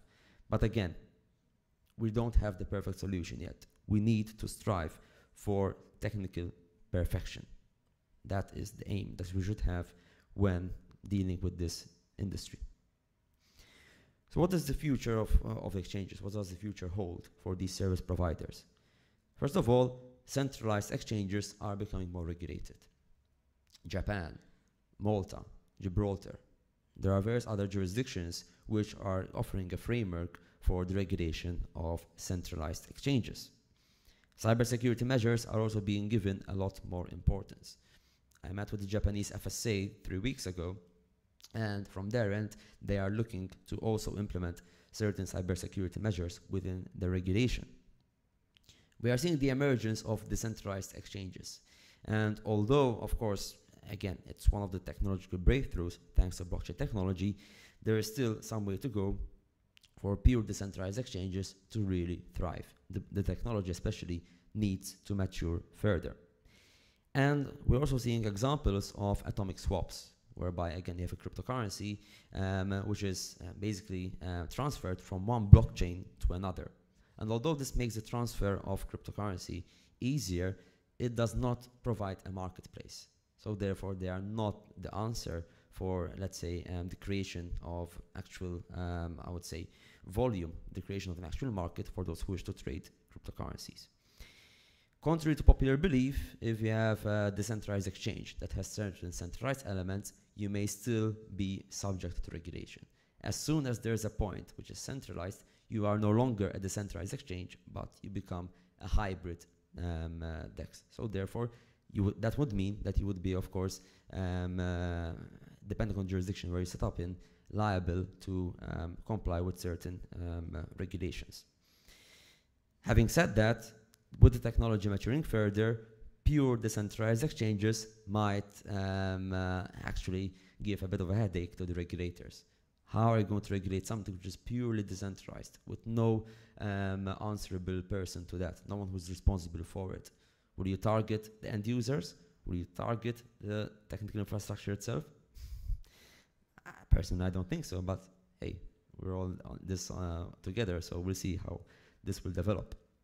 And a very interesting uh, development that we're seeing is that exchanges are almost becoming banks in their own right, offering custodianship, offering potentially certain lending solutions, especially if the, if the jurisdiction where you set up in doesn't regulate crypto assets in any way, form, or shape whatsoever. So you're basically free to offer any services in relation to those crypto assets, even if those services are mostly um, assimilated to what banks normally offer. So, of course, I'd like to close off this presentation with what Malta is doing in this space and uh, how our regime is different. We haven't gone for a light touch approach. We have actually regulated this industry from the ground up. So we're not offering any concessions, we're not offering any light touch legislation, we're actually offering full-blown licensing frameworks. Um, and for example, the licensing framework um, caters for, first of all, significant share capital requirements. In order to set up an exchange, you need a minimum share capital of 730,000 euro. That is for the exchanges. Custodians, you require 125,000 as minimum share capital. Depends on the class of license under which you're applying. This, of course, provides peace of mind to the regulators and to the users alike that you have enough float to, of course, continue running your business. Extensive due diligence, as I said, issuers, the service providers such, such, such as the exchanges, and uh, also the agents servicing the industry, they are all subject persons under a local AML legislation. We also, uh, of course, have a clear token classification regime. We don't just stick our finger up in the air, see where the, where the wind is blowing, and say, okay, this might be a security, this might be a utility. No. We have a clear four tiered classification system offering legal clarity in the space. Fitness and properness. Every time there's someone conducting a service here in Malta, doing an issuance, even listing on an exchange, the agents are responsible for conducting the fitness and properness test to ensure that the persons conducting services here in Malta are above board. The competent authorities, namely the Malta Financial Service Authority and the Malta Digital Innovation Authority, are of course constantly monitoring the industry. Cybersecurity guidelines applicable to service providers, and even enhanced systems audit requirements for those service providers which are especially dealing with custodianship. We want to ensure that there's a safe place of business, not just for the persons um, actually running the business, but also for the users and the investors alike. And there's also the requirement for key functionaries to be appointed um, uh, for those uh, service providers and issuers, namely the money laundering reporting officers, compliance officers, financial auditors, VFA agents, systems auditors, and so on and so forth. So hopefully, with this uh, regulatory framework, we um, uh, introduce an element of legal clarity in the space, and I believe that all in all, the whole industry is moving towards a more regulated, towards a safer environment for all. Thank you.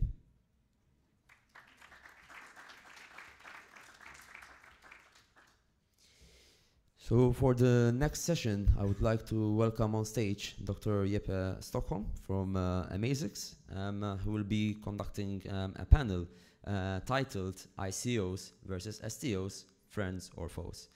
Basically, the whole point of the panel will be to discuss the recent development in STOs, how it compares to ICOs, and of course, various other um, uh, innovative points aside. Perfect. So thank you very much for this uh, introduction. And uh, I'm very honored to be here today, being in, on Malta, and, and talk about uh, this uh, very big development we have in, in this space. Because uh, what we are witness to here now is uh, an area that is rapidly developing. But I would very much like all my panelists to enter the stage. So please give them a hand while they come up here, and then I will make the formal introduction up here. So, Mr. Jolo, and uh, okay, he's coming. Okay, so we have a, a, third panelist. He will be arriving, but we can already uh, start here. So, uh, basically, we are here to talk about uh, security token offerings and uh, initial coin offerings, but also exchange offerings. But uh, I know that uh, you all have uh, different profiles. I mean, I'm a lawyer myself. I come from uh, Amazix. We are a global advisory company. We have uh, done a lot of research in this area. The last year we have um, uh, been through more than 300 different projects. And very interesting is that everyone is always asking us, what do the investors want? And I mean, you, you come from uh, this space, from uh, VCs and uh, etc. So can you please introduce yourself and uh, tell a little bit of what, what you're doing? Yeah, hi, good morning, everyone. Uh, my name is Hirander Misra. I'm chairman and CEO of a company called GMEX Group. I mean, GMEX um, operates all over the world in terms of setting up um, and operating, investing to regulated exchanges, originally in the traditional space, but then over the last uh, two years, quite heavily in the digital exchange and digital custody space. And so, you know, we're seeing some very interesting developments uh, and the market involve uh, from the perspective of setting up those exchanges, but also listing whether it's various forms of tokens, but also now moving to more asset-backed tokens as well. Perfect. And Mr. Law, can you please introduce yourself? Yeah, hi. Uh, thank you for having me on this panel. Uh, my name is Jor Law. I'm a corporate securities attorney. I actually wear multiple hats in the space now that I don't practice law. Um, I've consulted and helped build the infrastructure and ecosystem around security tokens. Um, and primarily, I, I, built a company called Verify Investor. It does accredited investor verification.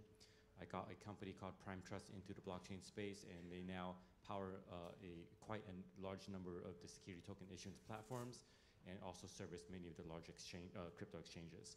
Um, I built the primary issuance business of T0, which uh, many people know as a secondary exchange uh, or secondary trading platform, but they also have a primary um, issuance platform which I built for them.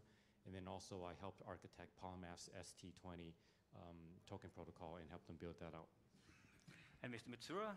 Yes, terrific. Uh, is this is this working? This one's better.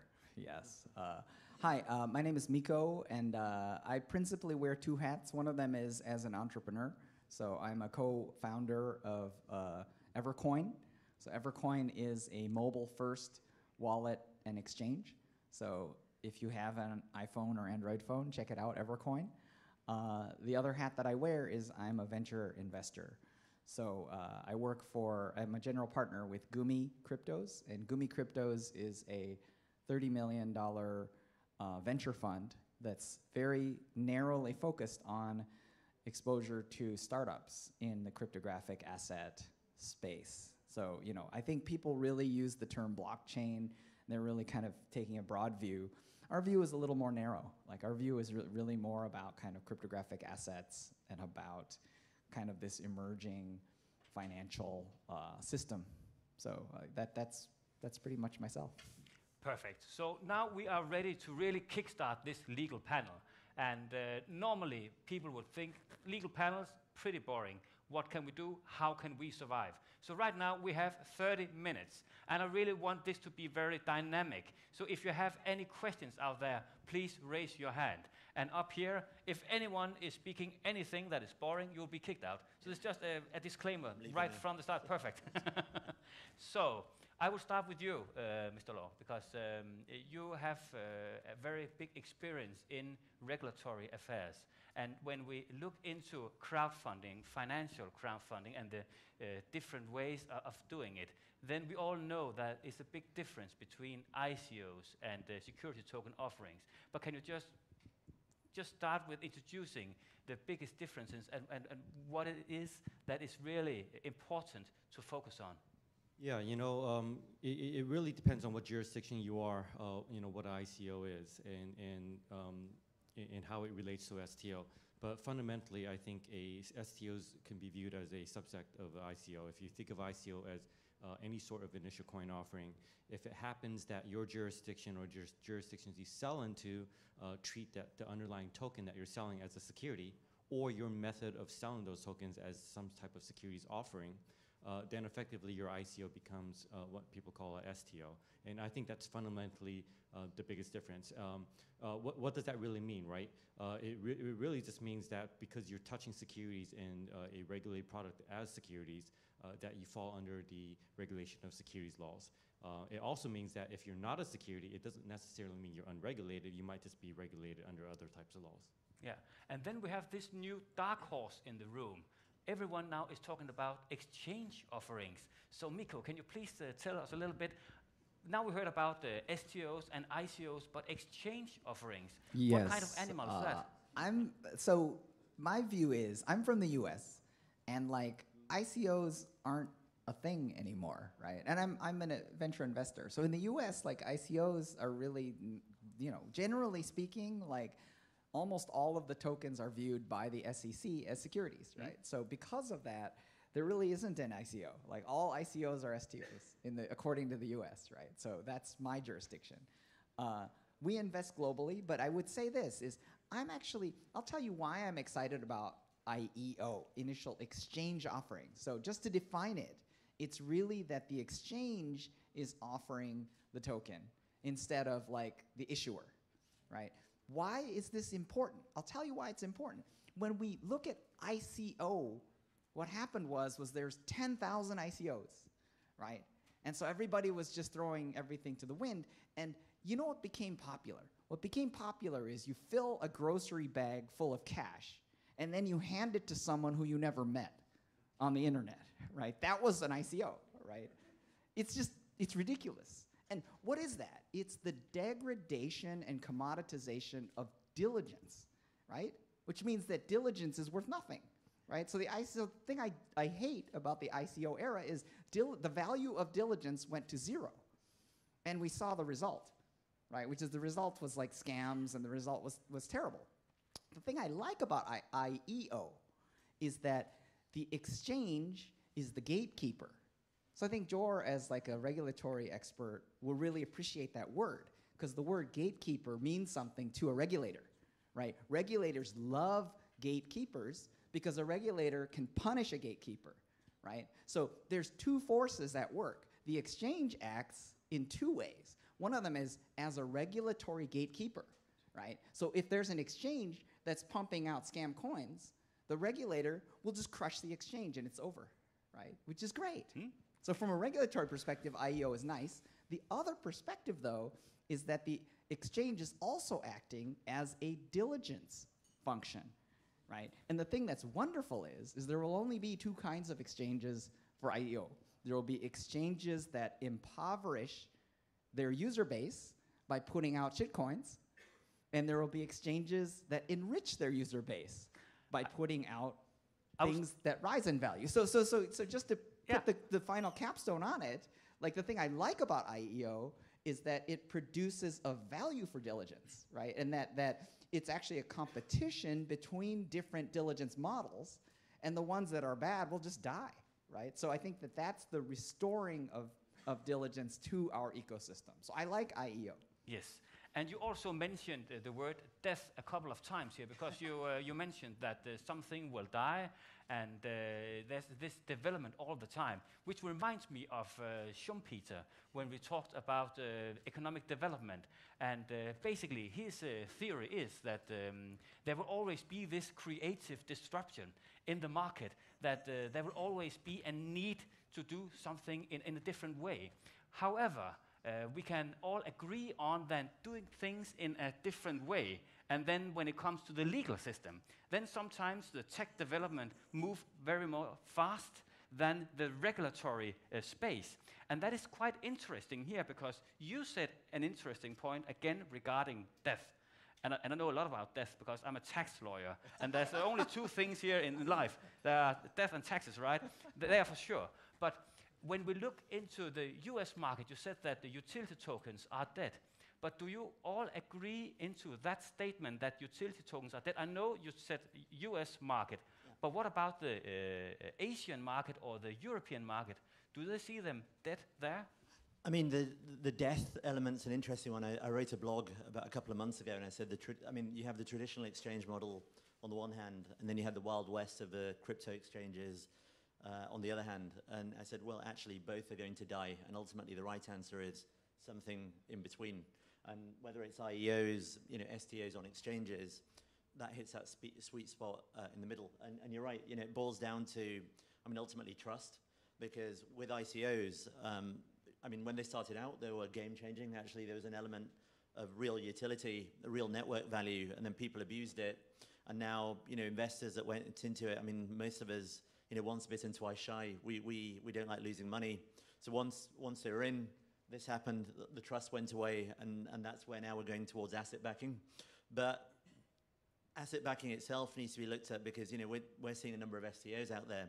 And if you package rubbish, it's still rubbish, you know, no matter how you package it, right? And so you've got kind of a lot of STOs being touted, but actually uh, the lessons haven't necessarily been learned from ICOs. There's a few number of ICOs, but you know we're still involved in one uh, relating to gold. There are a number of others out there. Um, you know, there's a company called Scrumble uh, alongside After Telegram. They were the second most successful ICO last year, uh, a Canadian firm, but they have an Asian user base. So there's still a market in some jurisdictions for good ICOs. But now, I mean, I do agree we're moving towards asset backing, and trust is key, and we'll touch upon some of that as well. So when you mentioned the word uh, rubbish and uh, you mentioned the trash and uh, we look into the different kind of tokens. No, but, but I mean, uh, we, we need to, I love a panel here uh, talking legally, but, but using other kind of uh, wording. When we talk about token economics and we look into utility tokens versus security tokens and maybe also the interest of conflict between the ultimate owners, the, the shareholders, and then the investors in the utility token. And we then look into, again, the investors. what do they prefer?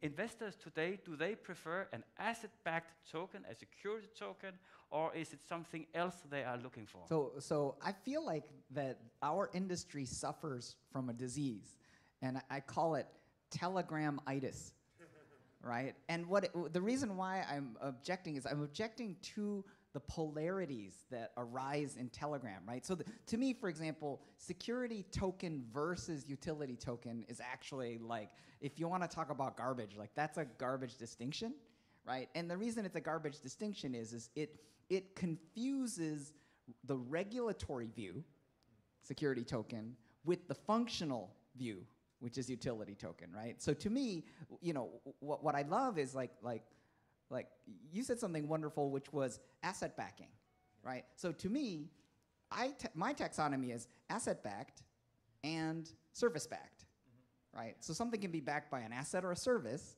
and that taxonomy, or nothing, nothing backed, right? And my third category, nothing backed, includes things like Bitcoin, right? Which are effectively what you could call an infrastructure token, right?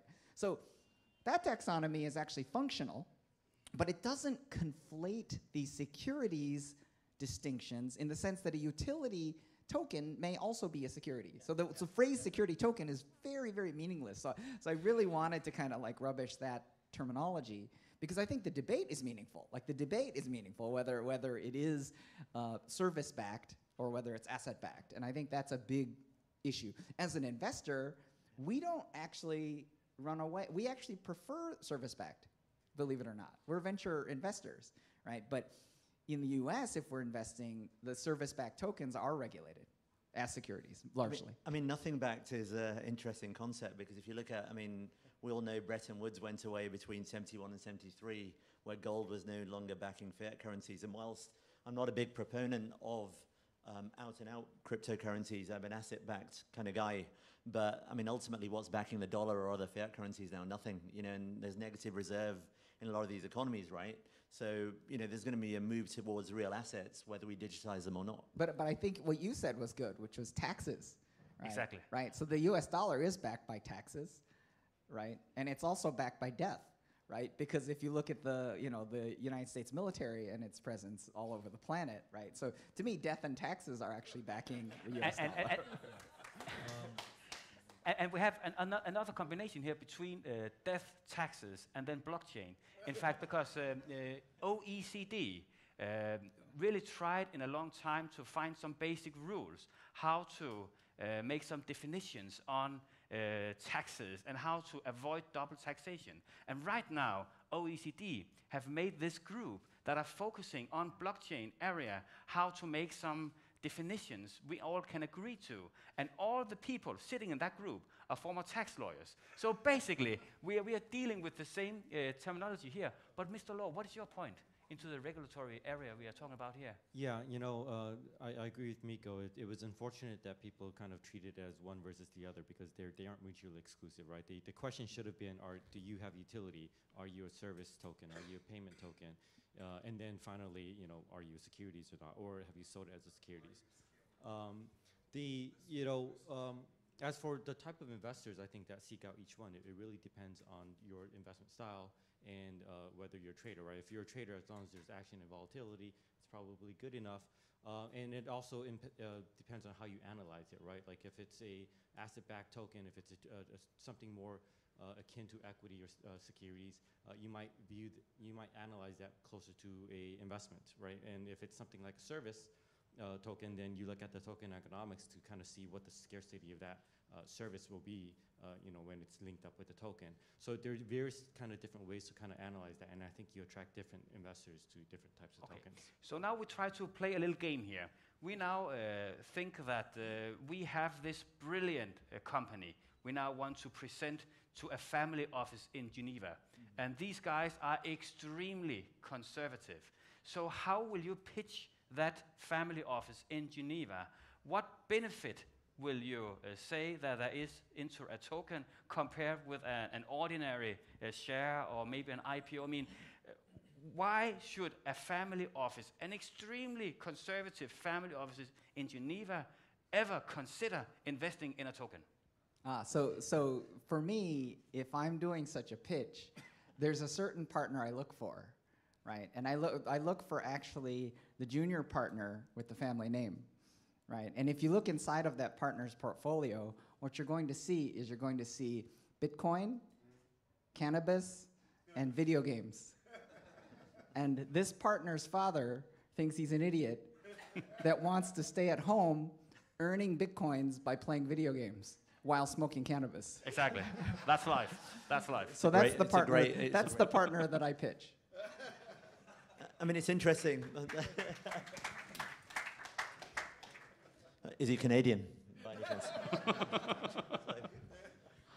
I, I mean, looking at, looking at this, I mean, we've had exposure to this in um, Monaco, for example, where you know you go into a kind of wooden walled room with cognac in the corner, and, and you've got these investors that are interested. But what happened was they don't really understand what they're investing into, and some of them have had their fingers burnt because you know they've been touted some of the rubbish that we've been speaking about. So now it's boiling down to trust. I mean, you've got a number of funds emerging now as well that they're putting money into. I mean, Denise Gardier, who's speaking uh, on one of the other streams, um, he- he's got one such one that he's set up. We're setting one up uh, as well in a jurisdiction. But ultimately, it boils down to trust because if you look at family office investors, but equally now there's lots of hype around institutional investors coming into this marketplace. But actually, what they're looking for is something that's similar to what they've already been using. We're all creatures of habit, especially when it comes to these traditional investors. And whether, whether we know the market's going to move to a different type of investment or not, whatever they've been used to, they've been used to V, PC type, you know, um, PE type VC private investment or uh, listed equity or some type of security or other products on the other hand. Whereas now you're trying to give them STOs in the middle. I mean, there are advantages because obviously VCP, um, you can list those tokens as a level of liquid- liquidity on, on a tokenized market.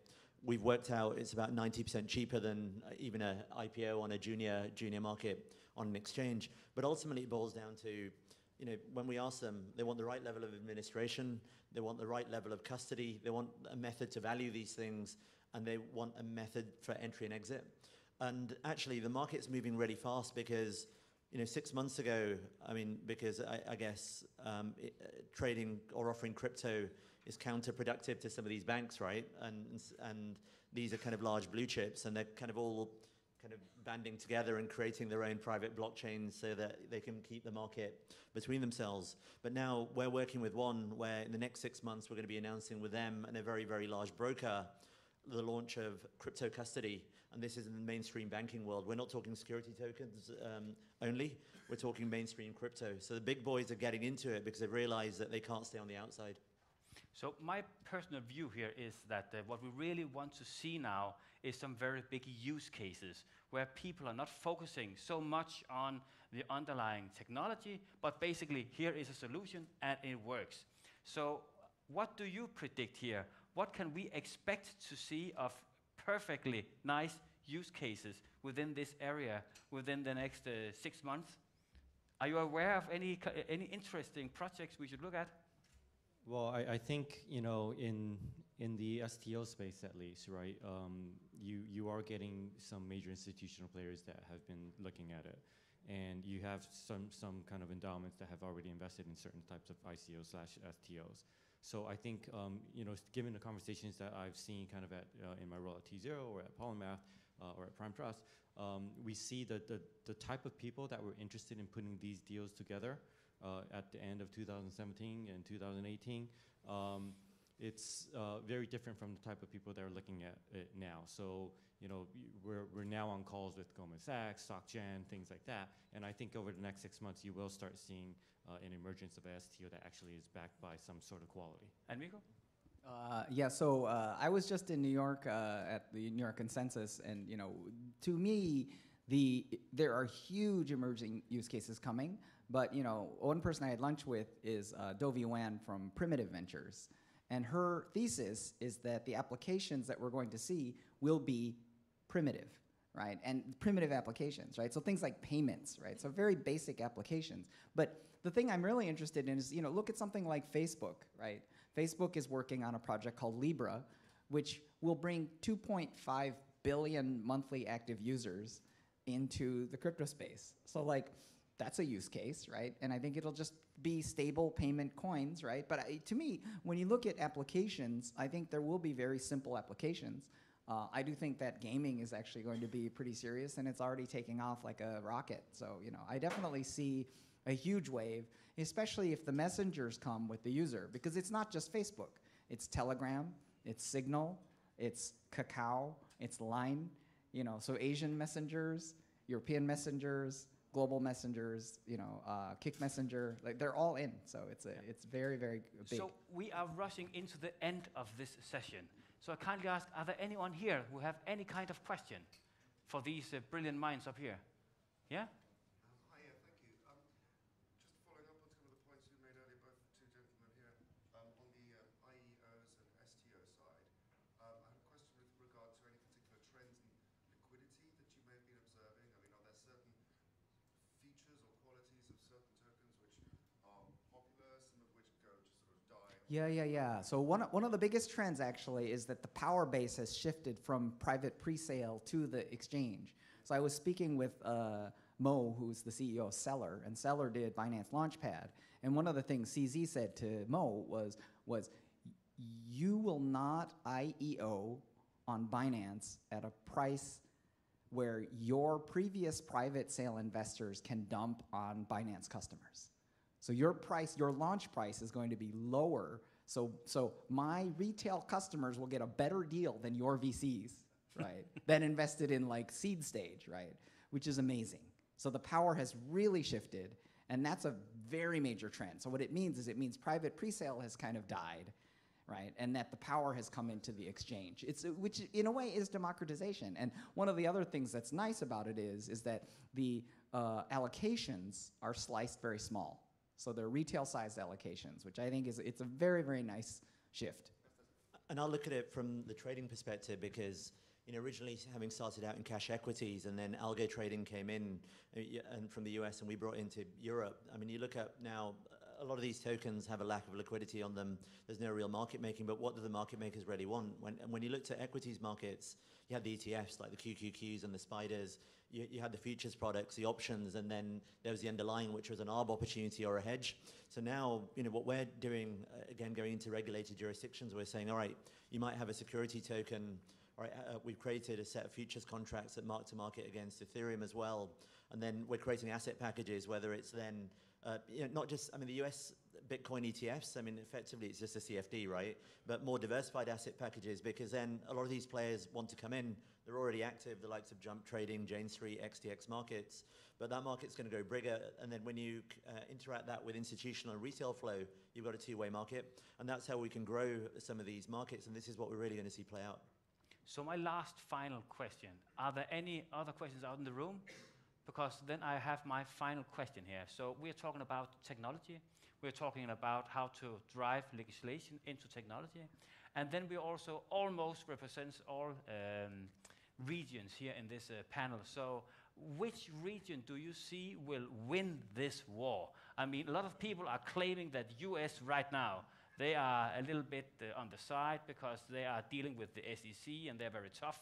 Then there are people claiming that, uh, okay, maybe Asia can do it, but again, it's also quite tough there. And, and then we have uh, Europe, which is, uh, I mean, it's Europe. We have yeah, different uh, jurisdiction. Everyone is battling Brexit. Everything is coming up here. So, so who will win this war if we look into jurisdictions and uh, areas?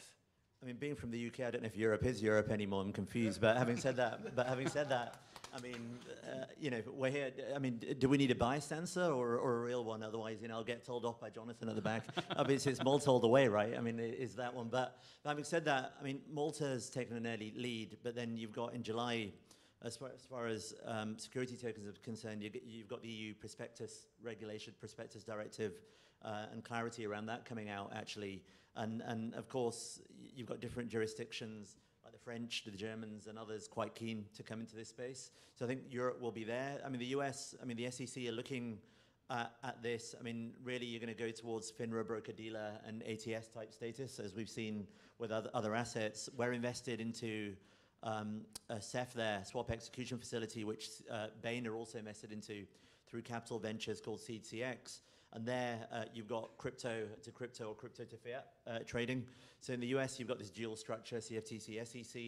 Um, but in, in Europe, I mean, most of these assets and the futures on them are going to fall in the MIFID 2 as well. And then, and then subsequently, maybe five years from now, MIFID, MIFID 3. Do you all agree in this statement? Do you think Europe will be the winner? Maybe we could all it's, win it's, of it. it's global, right? Because look, uh, we've, you know, one of the problems with institutions coming in is the same intermediary model that's broken now, right? They're trying to reintroduce. We don't want it, right? I mean, uh, th- there's, there's an element of that. And now all these exchanges are going, it's going to be me, right? But think of it as the analog phone before the smartphone. All these liquidity pools can interconnect now, right? If you're trading crypto swaps, you can't fiat bank in one jurisdiction. You can affect a smart contract in another, and this is going to become a reality.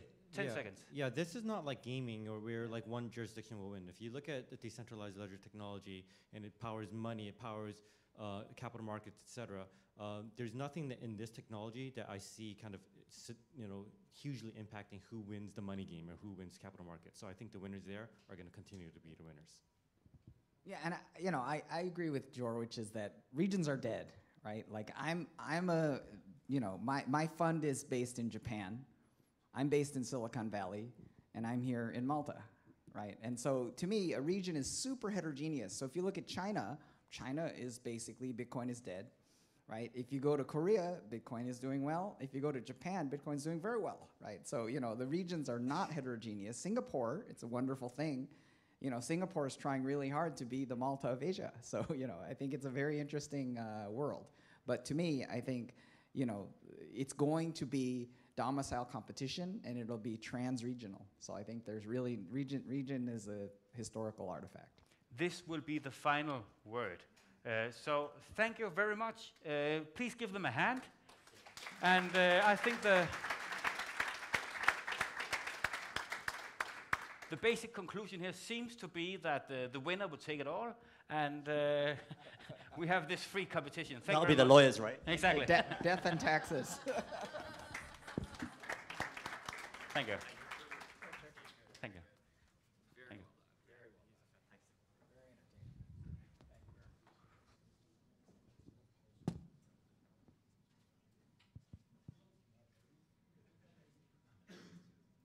So,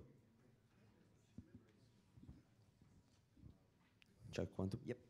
So, well done to our wonderful panelists. It was a very entertaining discussion and very informative as well. Um, uh, one point which I would also like to add as well is that we're seeing an emerging phenomenon when it comes to, uh, let's say, secured tokens or financial instruments on the European Union. We are seeing the emergence of the so-called quasi-financial instruments. Those instruments which have elements um, that are very familiar or rather similar to financial instruments, but they're not classified as financial instruments in themselves. We've seen this trend emerging with regards to electronic money, e-money, the digital representation of fiat money.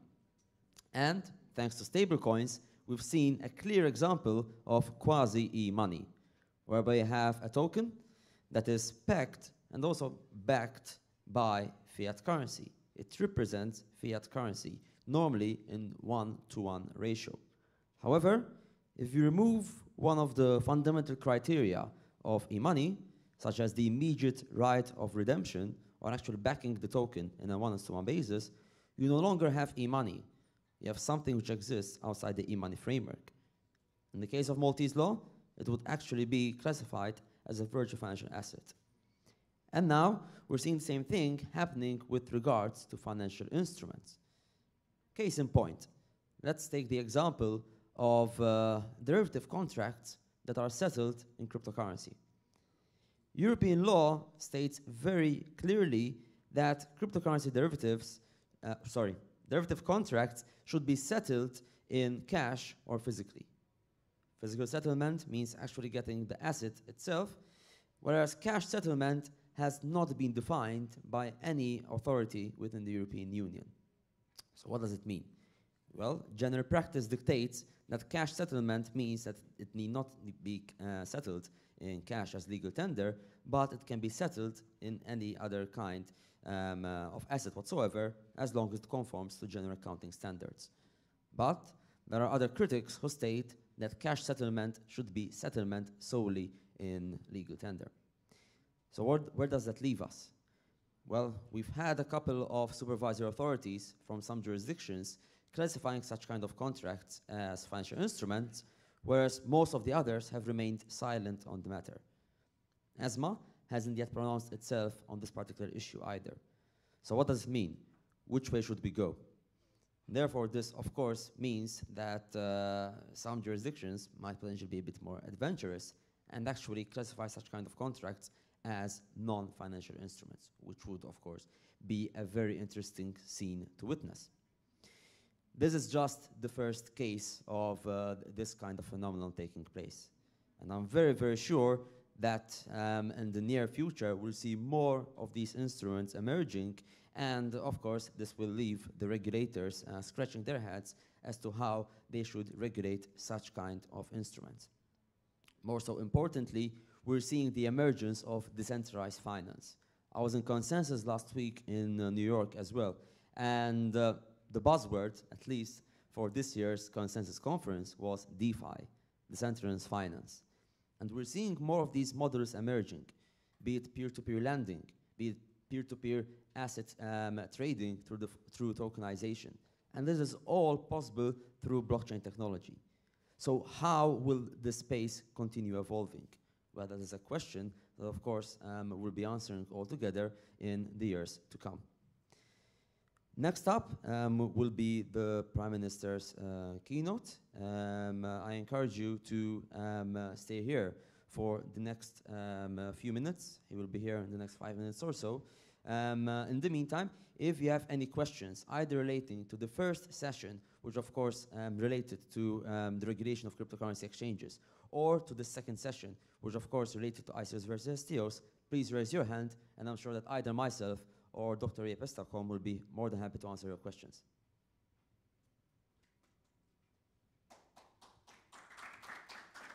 Thank you. So please um, um, bear with us, and uh, again, we'll be uh, with you quite shortly, um, uh, since the Prime Minister will be here in the next few minutes.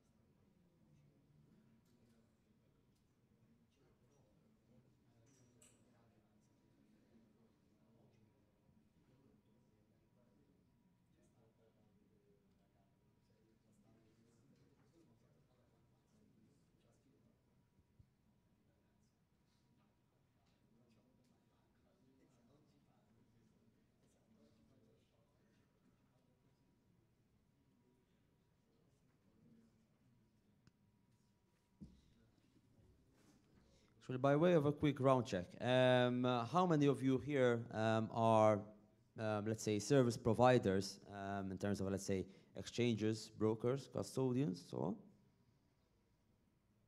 Okay.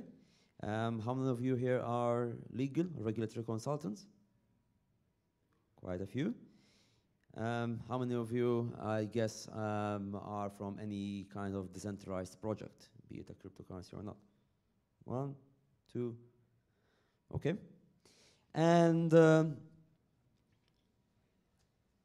what's your, I guess, your take um, on the move that we're experiencing towards um, uh, regulation?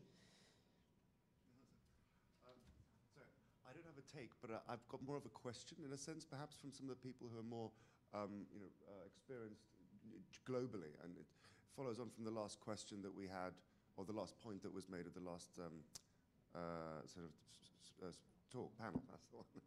Um, and that is that uh, I've, well, I'm, I'm, looking. I've recently moved to Switzerland, largely because there's a very, very strong uh, interaction between the regulators there, and people are very comfortable with that regulatory body.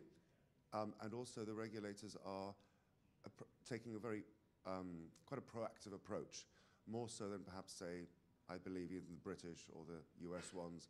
I'm not so familiar with the Maltese ones, but I'd be interested in a sort of global overview of people's comfort level with the regulatory authorities in all the different major jurisdictions. Of course, I would say that um, uh, the point of departure is that the regulatory authority needs to, of course, understand um, uh, how the industry works and how the industry is developing further. And this can only be done if the industry, is, uh, or the, rather the authority, is to first collect feedback from the industry and then regulate further. And I would say that Malta has done precisely that. Malta has, in fact, um, uh, listened to the industry first and then regulated. However, all of this wouldn't have been possible. Malta couldn't have been a leading jurisdiction without a driving force in the driving seat. And in fact, whenever I am asked as to how we managed to, of course, succeed in this industry, my, question, my answer tends to be pretty simple. We've had an excellent driving force behind this regulated framework, and uh, this person is precisely our Prime Minister, Dr. Joseph Muscat, who has been a believer in blockchain technology from the first start. And in fact, I would like to welcome the Prime Minister himself on stage here to deliver a keynote.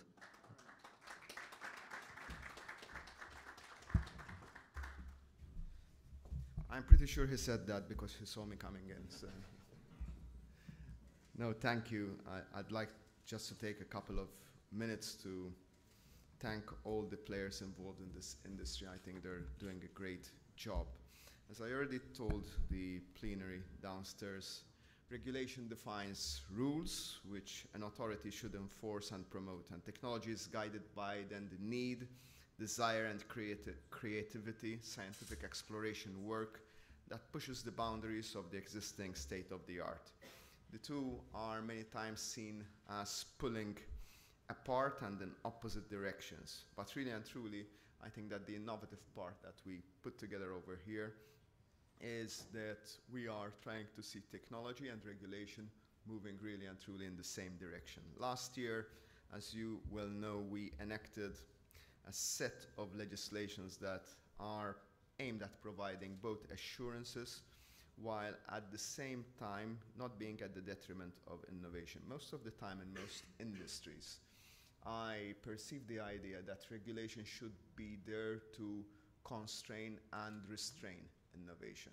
We see it in a totally different perspective. We see regulation as a way in which to direct innovation and as a way in which to provide assurances within innovation and not as a sort of obstacle to more innovation. And this is true not only in this industry, but I think in so many different industries. And that is why Malta is being a success in all these areas, because the way in which we perceive regulation is totally different from other areas. Actually, most of the time, people do think that players in different industries don't want to be regulated. My experience is that the opposite is true. Serious players want to be regulated because regulation provides assurances both for themselves, their prospective investors, and most importantly, their clients.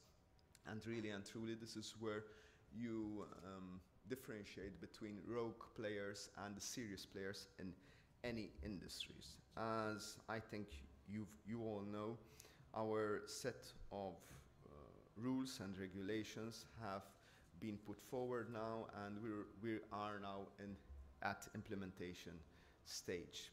We are in a situation where in the future for new technology, which is used in safety critical or high risk applications, we should consider whether such technology arrangements should be mandatory, should require mandatory independent assessment and systems audit to raise the levels of assurances of such safety critical and high risk scenarios. I really believe this is the, the way forward and where, where we should go in the very, very near future.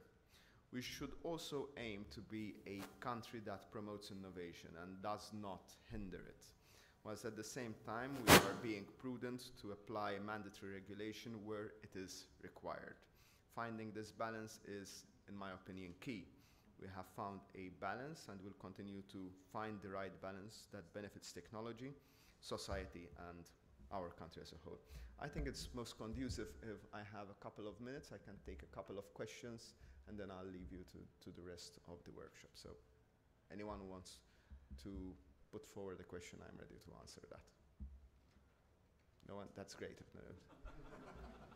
Yes, sure. If you can identify yourself.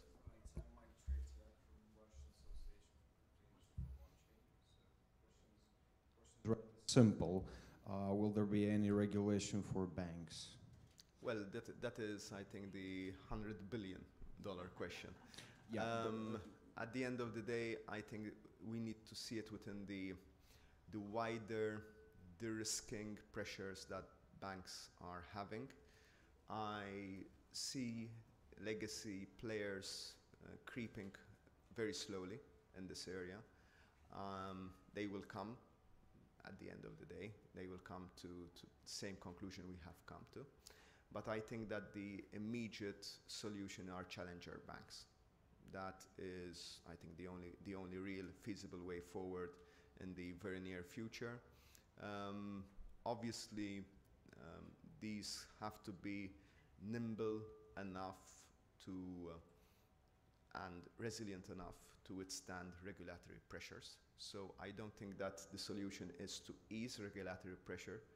The solution is really and truly having a business model that fits this industry rather than industry fitting the business model of banks. So that will eventually come, but I think the low hanging fruit is challenger banks, and that's where we're working um, uh, with our best resources right now. Sure. Prime Minister, this is not a question, just a comment from personal experience. Thank you very much for everything you're doing for uh, the blockchain space and the Maltese economy as well. And I can only hope that you know uh, the elections will go favorably, and that we'll have to have your continued I'm still. Prime Minister on Monday, don't worry about it. Thank you very much, Prime Minister. Round of applause for Thank the Prime you. Minister of Malta. Thank you.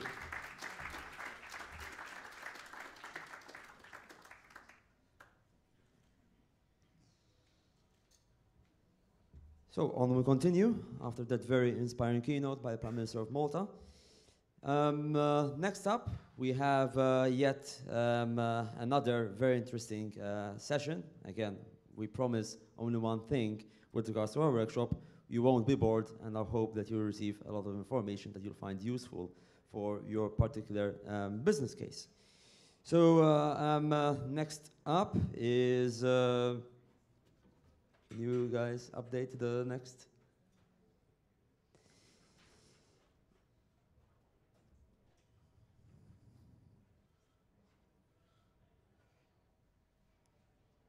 Okay, things are not running on the blockchain, so I apologize for the slight delay.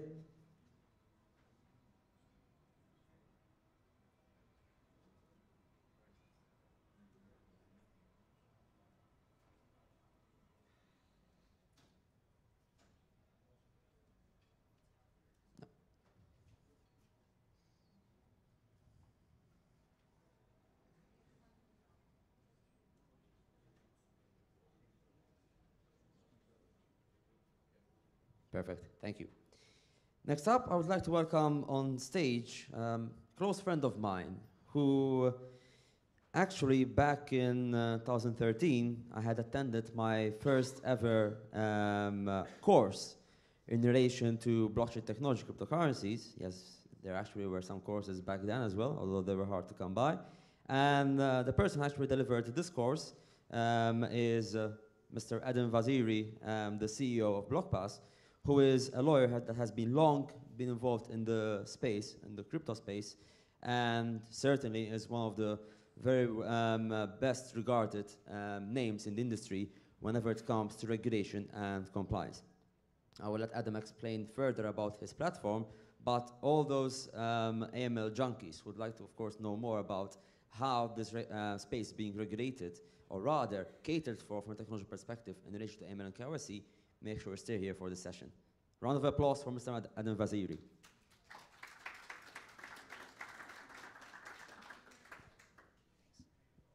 Thanks, John. Uh, great. Uh, great to be here. Malta is so fantastic, loving the innovation. Um, so, my background is as a lawyer, but I started in 2013 and there weren't many people um, working in this space at the time. Um, what fascinated me was discovering Bitcoin and the power of peer to peer financial transactions, the ability of a decentralized framework for finance. And at that point, you know, in 2012, I decided to pretty much dedicate my career to that. Um, so I spent quite a lot of time working with companies that were setting up Bitcoin exchanges or peer to peer payment systems and trying to bring them into the mainstream of finance. So, what does that mean? Mainstream of finance, as you know, is a regulated industry um, for the most part. Same is true with gambling. There are other industries too. And blockchain and crypto intersects with those regulated industries. So if you want to see, for example, some of the edge players that were not regulated enter into the mainstream of finance, they too need to be regulated. So I was helping a lot of those businesses enter into that and get licenses to operate their business. I helped get the first payments license using Bitcoin instead of Swift for payments, the first derivatives exchange based on Bitcoin licensed by the FCA, and the first lottery on Ethereum that was licensed uh, in um, the Isle of Man. But what I found was the, the problem is um, that you spend a lot of your time as a consultant pe- telling people what not to do, and it becomes repetitive.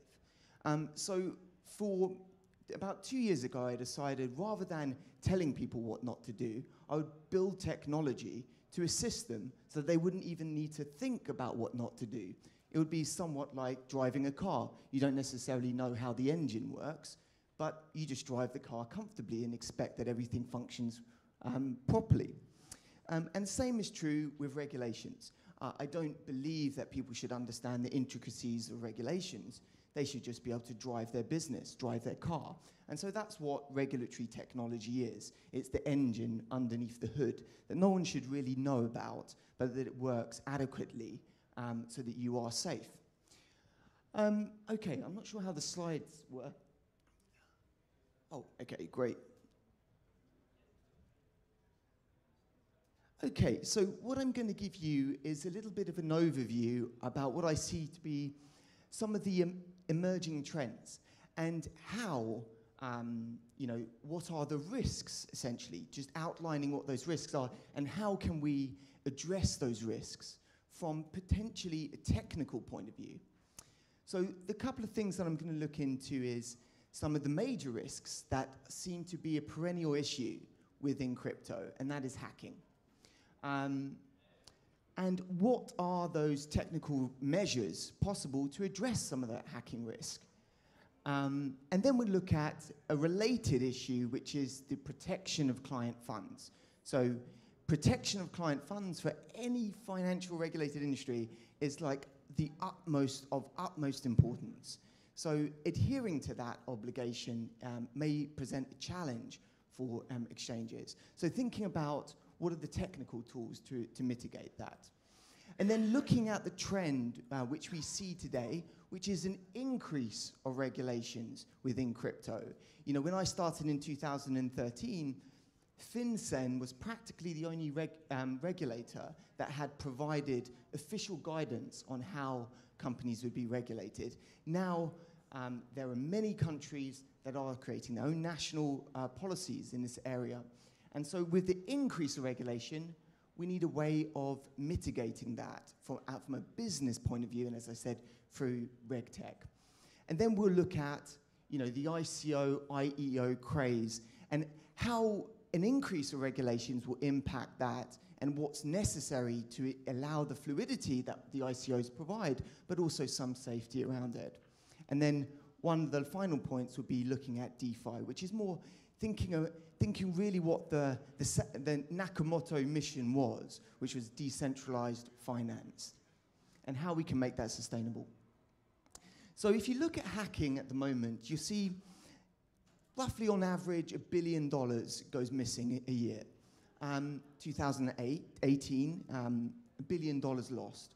Uh, that's quite a lot of money, and it's client funds. So, why is this happening? Is it the fact that exchanges um, ordinarily are incompetent? Um, I don't think that's necessarily the case. Um, the reason is, and it's a quite a simple one, um, cryptocurrencies are digital bearer assets. A bearer asset is an asset that if you control physically, that you are the de facto owner. If you control the private key of a cryptocurrency, then you are the owner, you are the controller.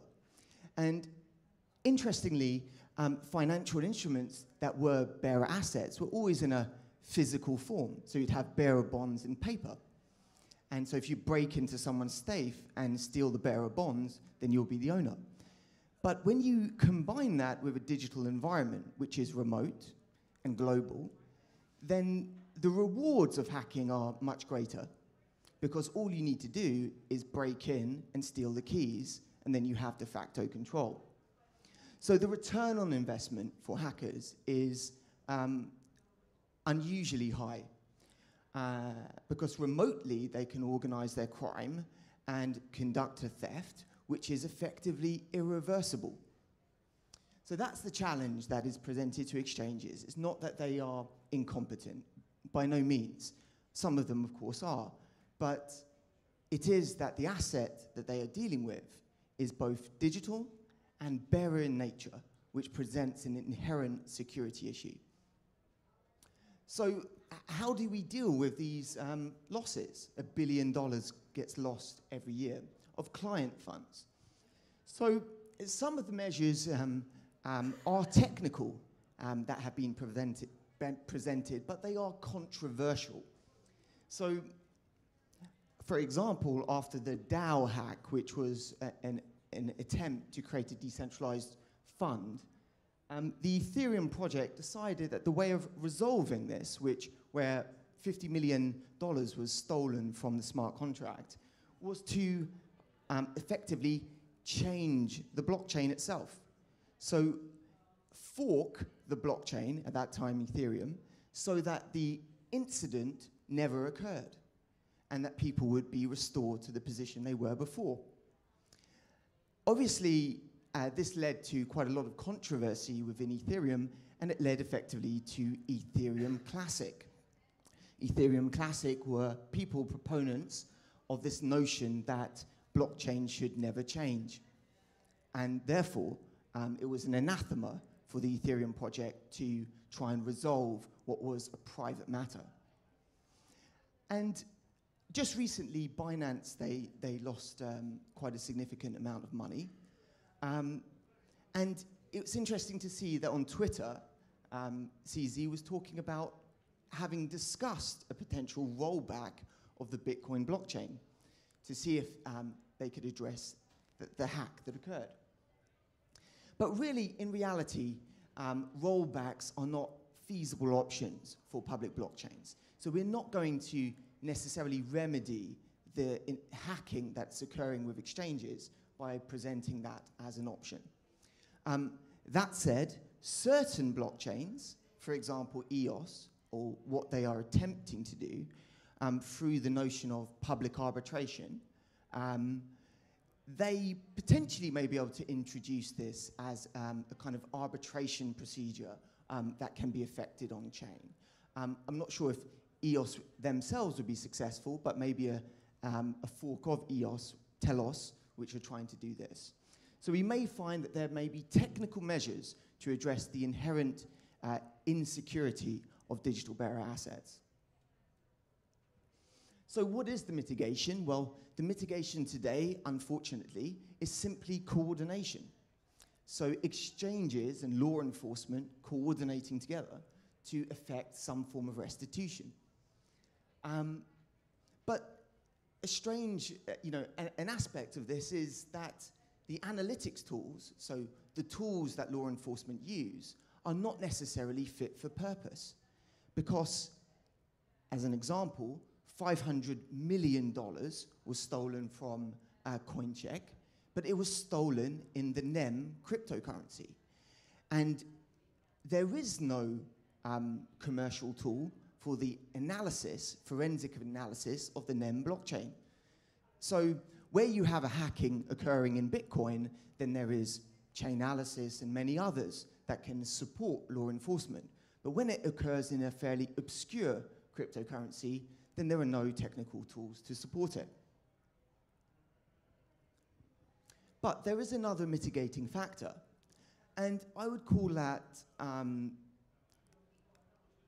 the public transparency or the public forum aspect of um, crimes that occur on chain. So a hacking attempt is what I would classify as on chain crime because as soon as the hack occurs, the address is notified effectively to the community, and the community can track that address and what is happening um, essentially to those, the proceeds of crime. And it's for public view. Now, if you are an organized criminal and you effect a bank heist, um, you do not want everyone to be surveying you uh, thereafter. And you know the, the key thing is is to make off with your winnings, so to speak, and disappear into the sunset. But when it when the crime occurs on chain, that's not necessarily possible because everyone is observing your every move. So money laundering thereafter is actually a challenging task for some of these uh, on-chain criminals. Um, so let's look at some of those incidents. So Bitstamp hack, which was one of the most interesting early hacks from a kind of on-chain crime perspective. Um, when the hack occurred, with things over 10,000 Bitcoin stolen, um, you had a community of people on Reddit that were following what the hacker was doing with the funds, where they were sending the funds, and where they were going to. Um, this is almost like community law enforcement, um, which is very interesting, and this phenomenon has never existed. Um, so there is some mitigation. Let's look at another one. So the recent one, which was Binance. So this is the address of the hacker. Um, the $50 million stolen. Anyone can go and visit that address and track where the money is going. And uh, this one is the Cryptopia hack, which I'll go into in a bit more detail. Um, again, the address is available on Etherscan, and you can just every now and again, if, it's, if you so wish, you can observe where the money is going. Um, that level of transparency has never existed. So I believe uh, that that is certainly a mitigating factor. Okay, so what the implications of it? Um, when we think about client funds um, and digital bearer assets, it is a challenge for those exchanges to protect client funds. Although they may have the operational measures in place, they are not necessarily immune from hacking. And I think most exchanges just bear the reality that at some stage their systems will be breached and that they are just getting ready for that event to occur. However, there are technical controls that can be used to harden at least the security of some crypto assets. And uh, these really apply to tokens. Um, so any asset that is created on a main chain. So Bitcoin, you can't really do anything about it. It's a digital bearer asset. But an asset that is issued on a main chain, you may be able to affect certain technical controls. On Ethereum, they have the smart contract ability, so you may be able to introduce a technical control to protect that asset from hacking. And so those two categories of technical controls are whitelisting and freeze function. So I would like to give you a demonstration of how this has worked in practice from my own personal experience. Um, I am the CEO of BlockPass. We have a token called the Pass token. And when we built this token, we embedded within it um, identification. So anyone that has the token must get identified before they're able to transfer the token. That's because the product itself um, is an identity product. Our, our, token is an identity product. But the byproduct of this design was to harden the security properties of that token. So I'm going to give you an example. So this is uh, Cryptopia. Cryptopia were hacked, um, and Pass token was one of the assets within uh, Cryptopia. And this is the address of the hacker. And you can see here uh, in red, this is uh, from Etherscan, showing an exclamation mark. It says, error in transaction, reverted. So the hacker, um, he stole, I think, about $70 million of Ether and other tokens, um, held the funds, and then started gradually transferring them out. But un unsuccessfully, um, he was able to transfer Pass tokens. He was not able to transfer Pass tokens. He tried 58 days ago to transfer Pass tokens.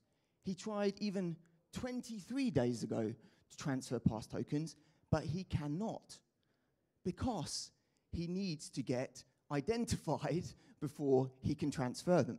And obviously, logically, the, the, hacker is not going to approach us and send us his passport, disclose his identity for us to whitelist his tokens. So this is a technical control that can be introduced in practice to harden security properties of tokens. So what is um, you know, the, the, the implication of this? These technical controls, you may not see them in typical cryptocurrencies, but I presume that you will see them more in other utilities tokens. Um, another control that I mentioned was the freeze function. So if someone hacks your token in the exchange, and there are many that are affected by the hacking attempts, you can effect a freeze of the smart contract, which means that the hacker is unable to transfer any further tokens. And then you can go through a, um, a restitution process for those people that have ha now had their assets frozen. So, what is interesting is although most the trend is towards digital bearer assets, we are seeing the trend with security tokens to have this inherent technical security within it. Um, so all security tokens have some form of whitelisting, just like our pass token. And this thereby increases the security of those assets. So it's not, um, uh, you know, uh, let's say it's not going to be unusual to see less security hacking att attempts involving security tokens. So we can assume that that industry itself will have better inherent security properties. Okay, so that concludes the kind of, um, you know, what you can and can't do in relation to cryptocurrencies and addressing the hacking attempts. But what we're now going to look at is the increase of regulation. 2019, for me, holds a new wave of regulation in crypto. Uh, we're seeing, for example, FinCEN um, and FATF um, get much more involved uh, in this industry. FATF publishes guidelines um, on anti-money laundering. If you went, they are at the apex of AML policy. And once they publish their guidelines, they trickle down to regional and national regulators for implementation.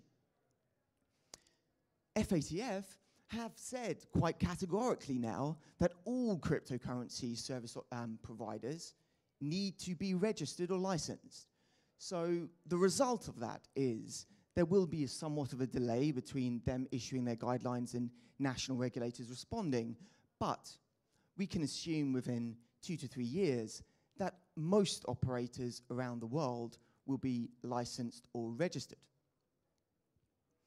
FinCEN, um, who's been tracking the space um, for at least you know, eight years, have published a very comprehensive guideline where they have classified ICOs as requiring FinCEN registration, crypto casinos as well, and even on-chain anonymizers. So these are services provided on-chain to anonymize your bitcoins. They classify that service in of itself as a money service business.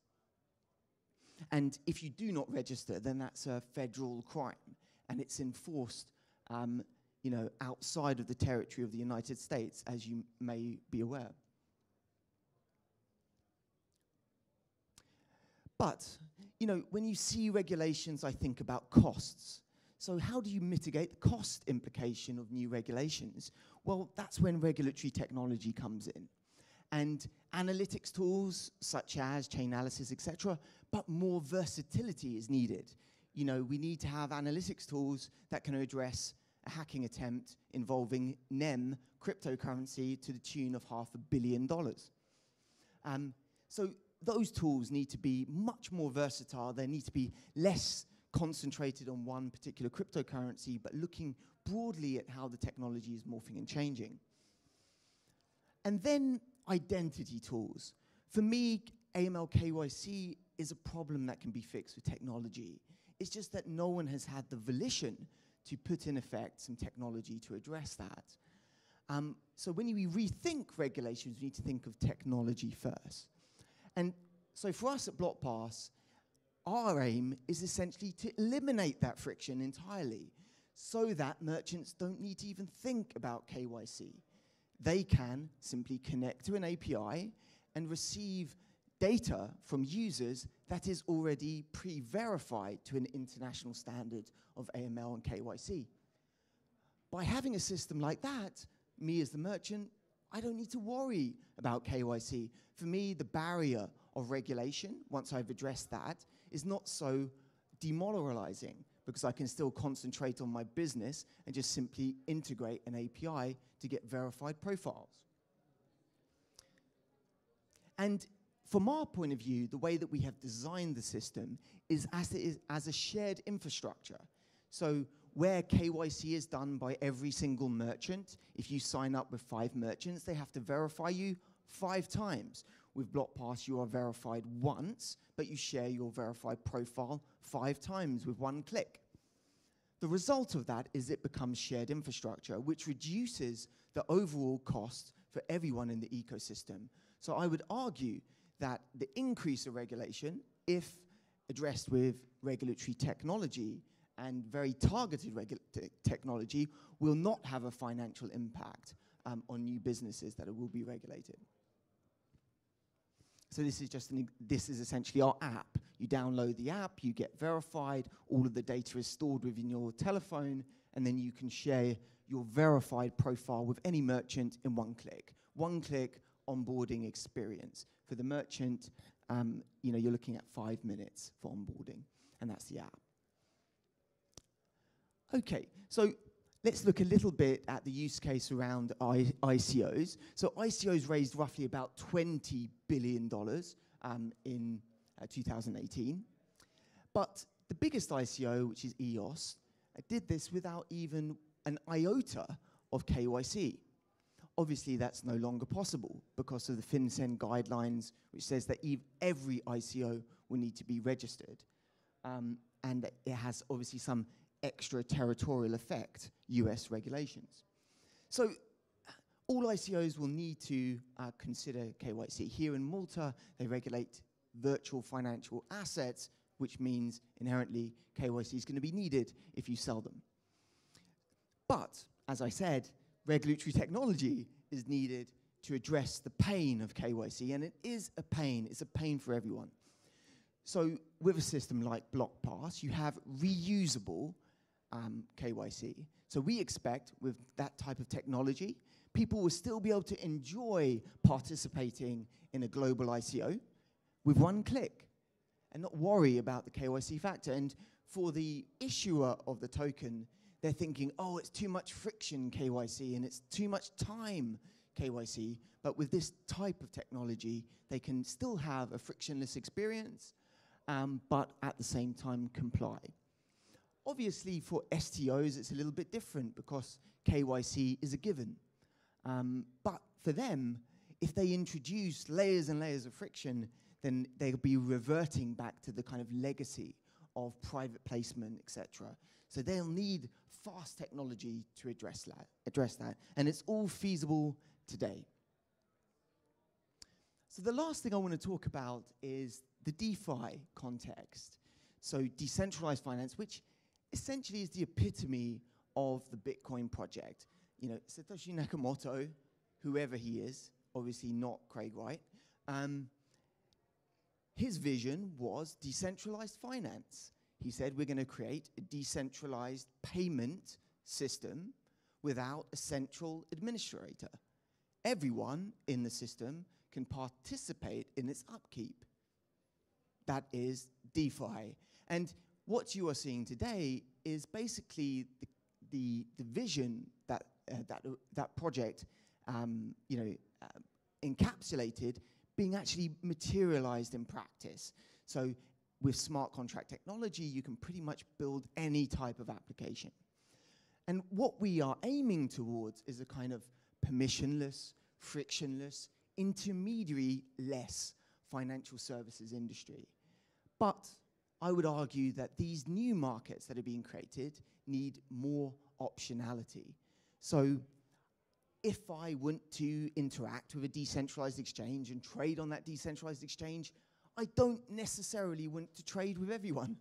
I may want to only trade with people that are not on a sanctions list, for example. If I am interacting with other people on a forum, I may want to um, ensure that those people are accredited investors before I present to them a potential investment opportunity. And if I am providing content on a website, I may want to know that those people are over the age of 18 years old. Um, so this is kind of where I see the next phase um, of technology. So we have built another product, which is Pass Verify. I mentioned the token. The token is a decentralized, anonymous identity verification system.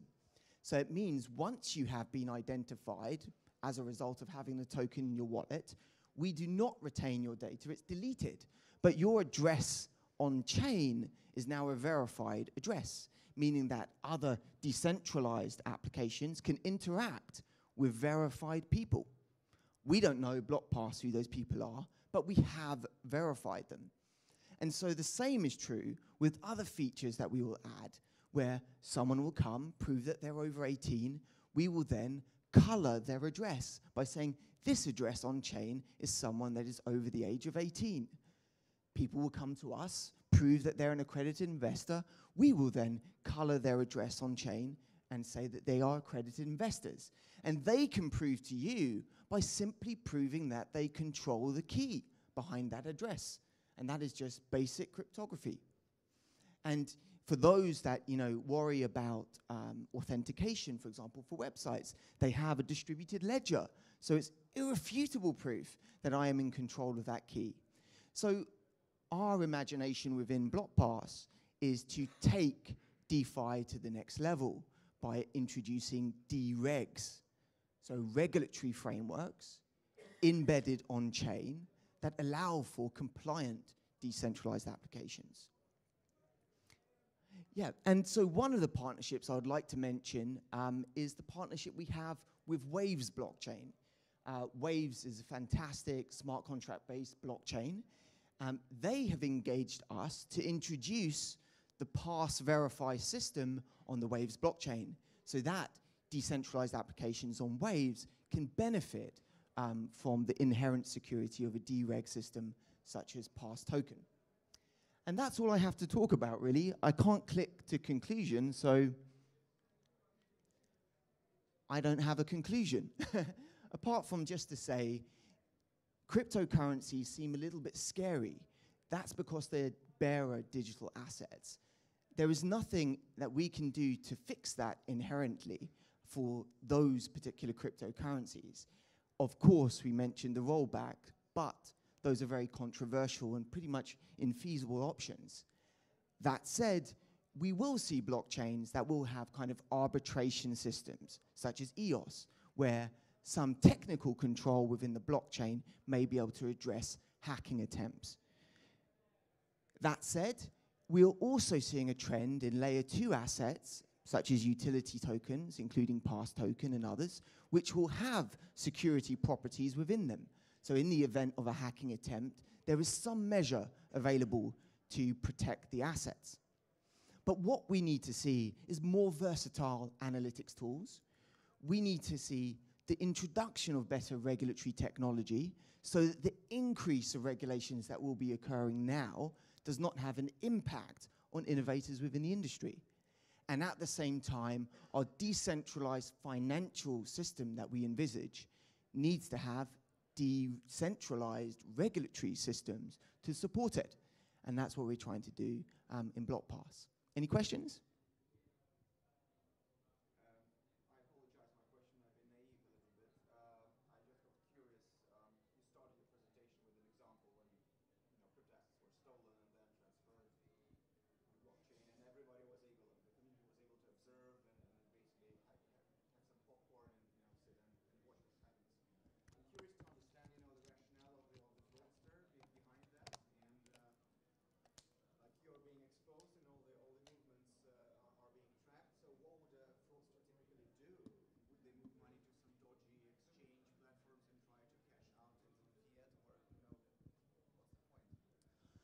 Yeah, I mean, that's a great um, observation. You know, everyone is sitting there eating popcorn, as you so rightly say, watching where you're moving the money. Um, I, I, think, you know, maybe earlier on, maybe 2013, 14, there, obviously there was less regulation. There were some exchanges that would not even conduct any analytics on receiving uh, funds. So it was a little bit easier, even though it, you were in the public's purview, people weren't really following you.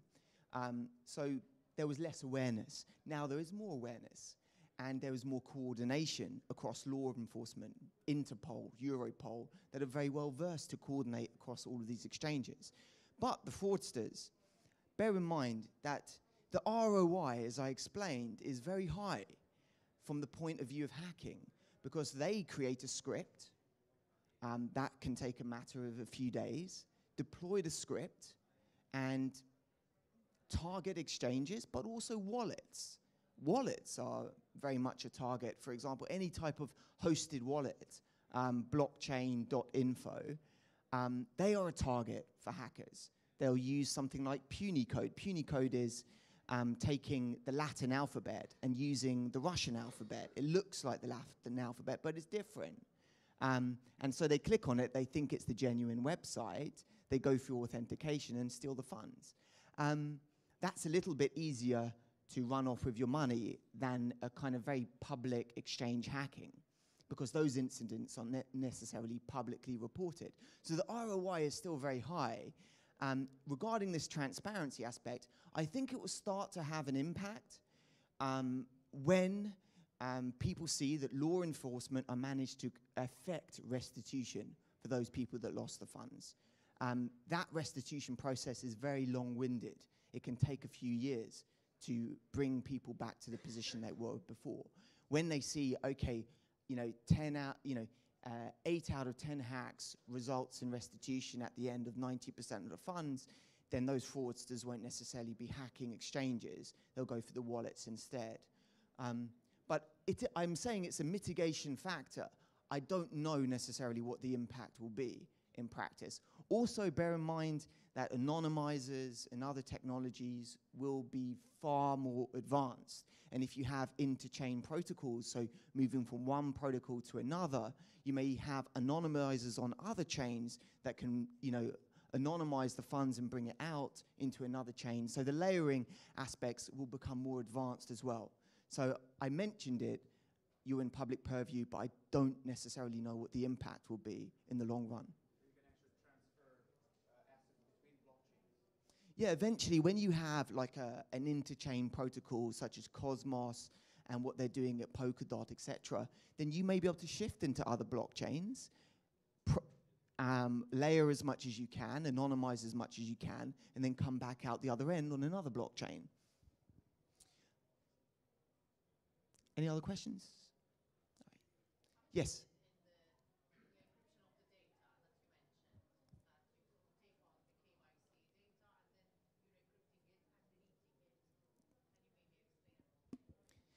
Yeah, sure. So, So BlockPass is an application. You download it on your telephone. You then add your data into the, the application. You then said submit your data for verification to us. It hits our servers. We then verify the data. Once the verification has occurred, we generate digital certificates for you that are cryptographically signed. And then we delete all of the data from wherever we've processed it. Now, you have on your device your profile in your phone memory with um, the digital certificates. You can then connect in the identity network to any merchant. When you made that connection, you can send for an encrypted channel um, your data to that merchant. They receive the data on their servers. BlockPass has got nothing to do with it. The only thing that we provide to the merchant is the proof that the user has not changed the data, and we just do that through cryptographic hashing mechanisms.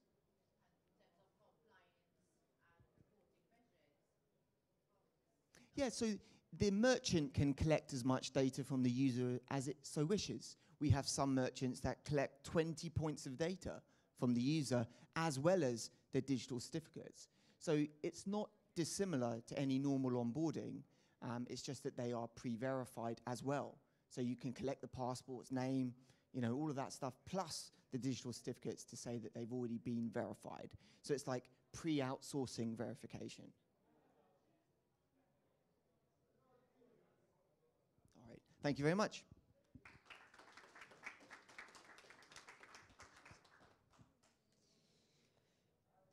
Thank you very much, Adam. So so far we've mostly been uh, talking, I guess, um, um, at the top layer, regulators, the law. We of course have you present as the industry, as the middle layer. However, we've seen that in the past, on various numerous occasions, a top-down approach hasn't led to the desired results and that nowadays we're moving towards a bottom up approach. And what can we do to drive the most important layer? I would say that the answer to that is education. Education is key to ensuring that we all move at the same rapid pace and we're all on the same page. And I would say that out of the numerous projects out there, the one which is definitely in the top echelon of providing um, uh, education as well as actually providing structure with regards to uh, this new industry is the Cardano platform. The Cardano platform, which is underpinned by the Cardano Foundation, IOHK, and Emurgo. And I would like to welcome on stage Dr. Lars Brünjes, who is the head of education at Cardano. Round of applause for Lars. Thank you.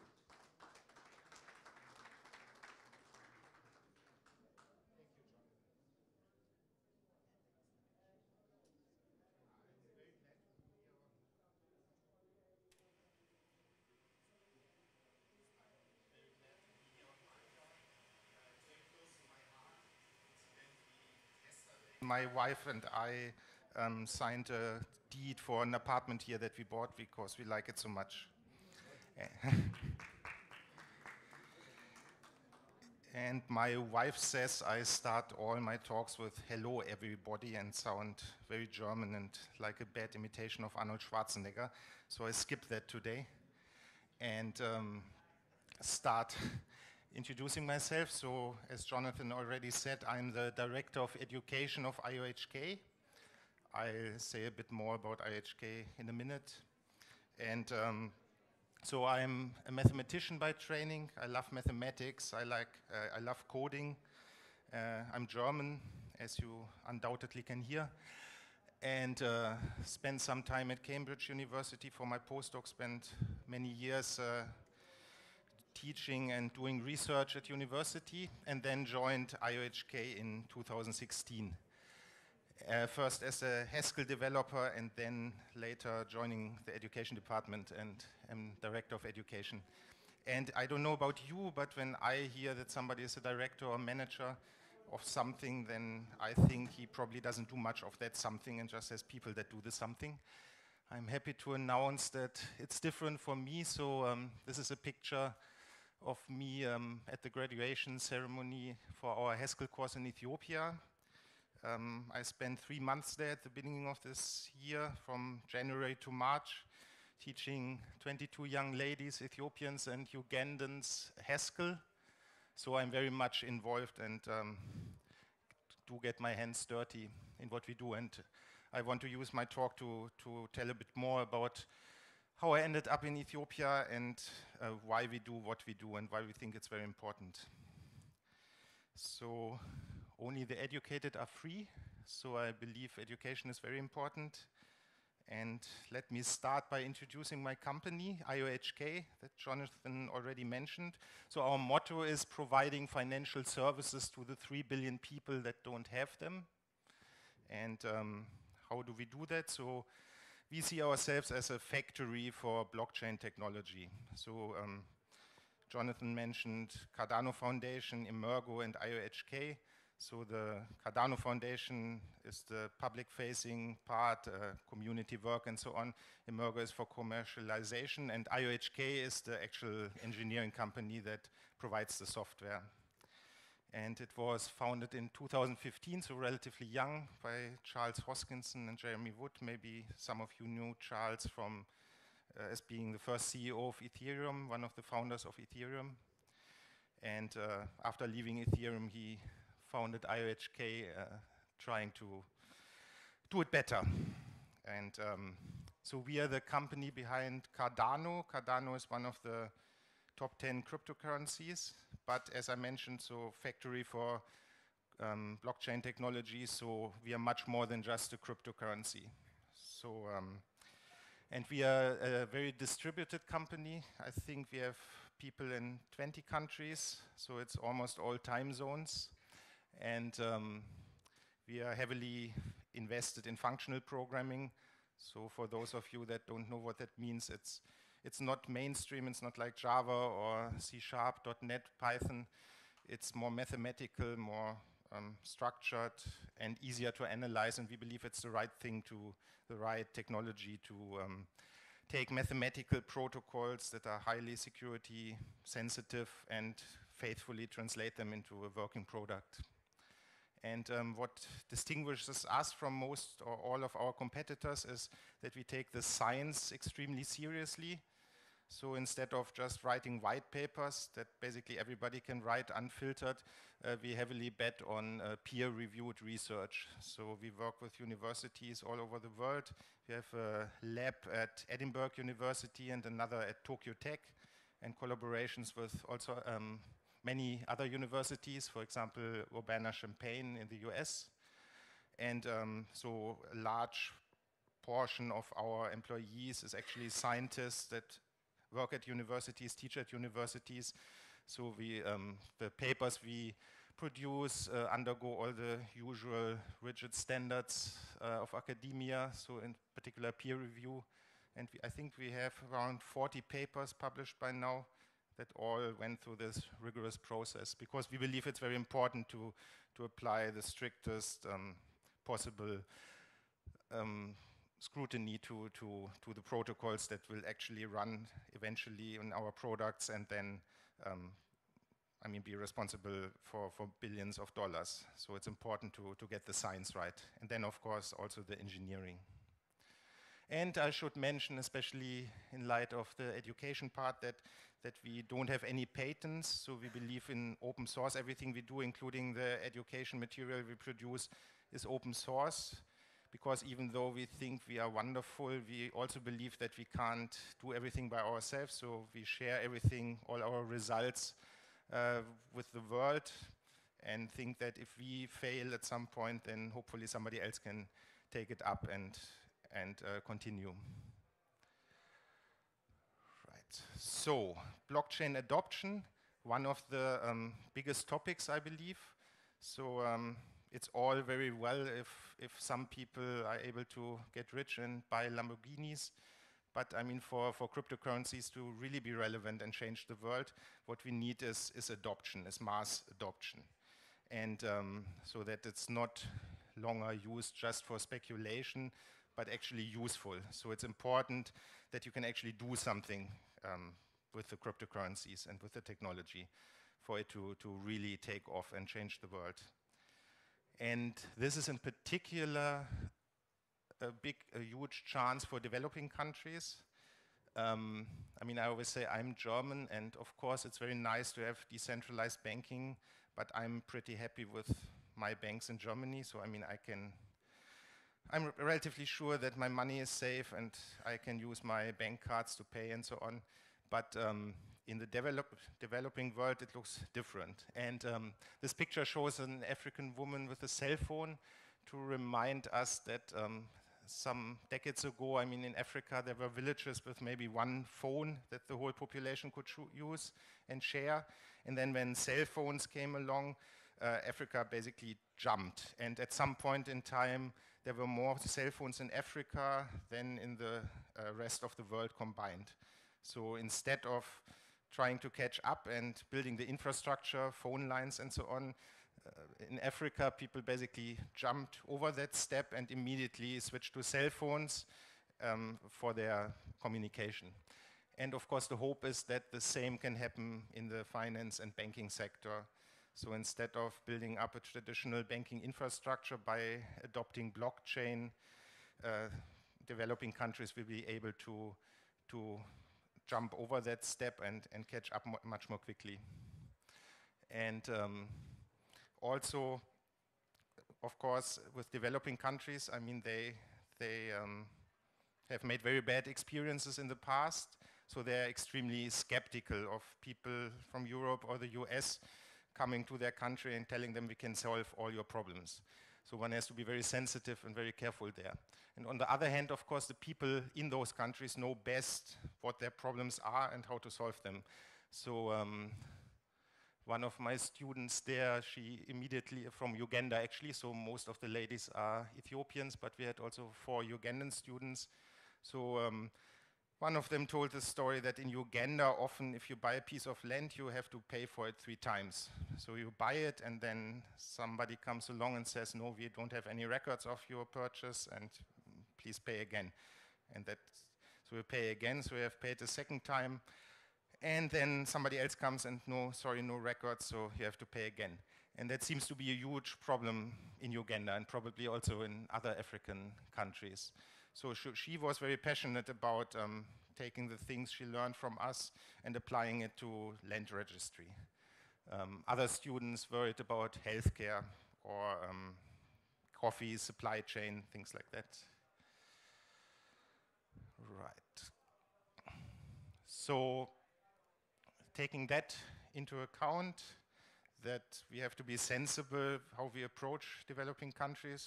I mean, not being arrogant, um, listening to the people. So the approach that IOHK takes in, in entering a new market, entering a new country, is via education.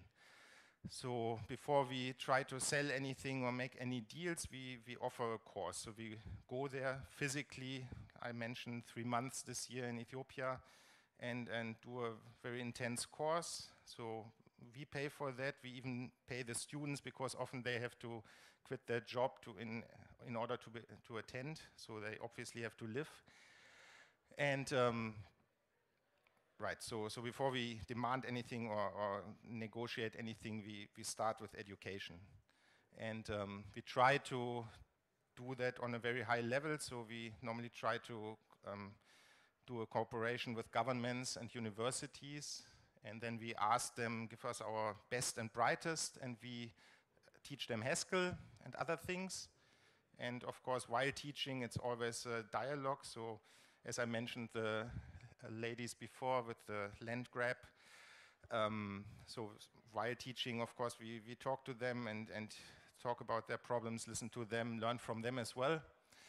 And uh, eventually, uh, the people that successfully graduate, we normally offer them a job. So, um, and because, as I mentioned, we are a distributed company, um, it's also nice. So, I mean, a lot of countries have the problem, this brain drain, that the best and brightest leave for the US or for Europe.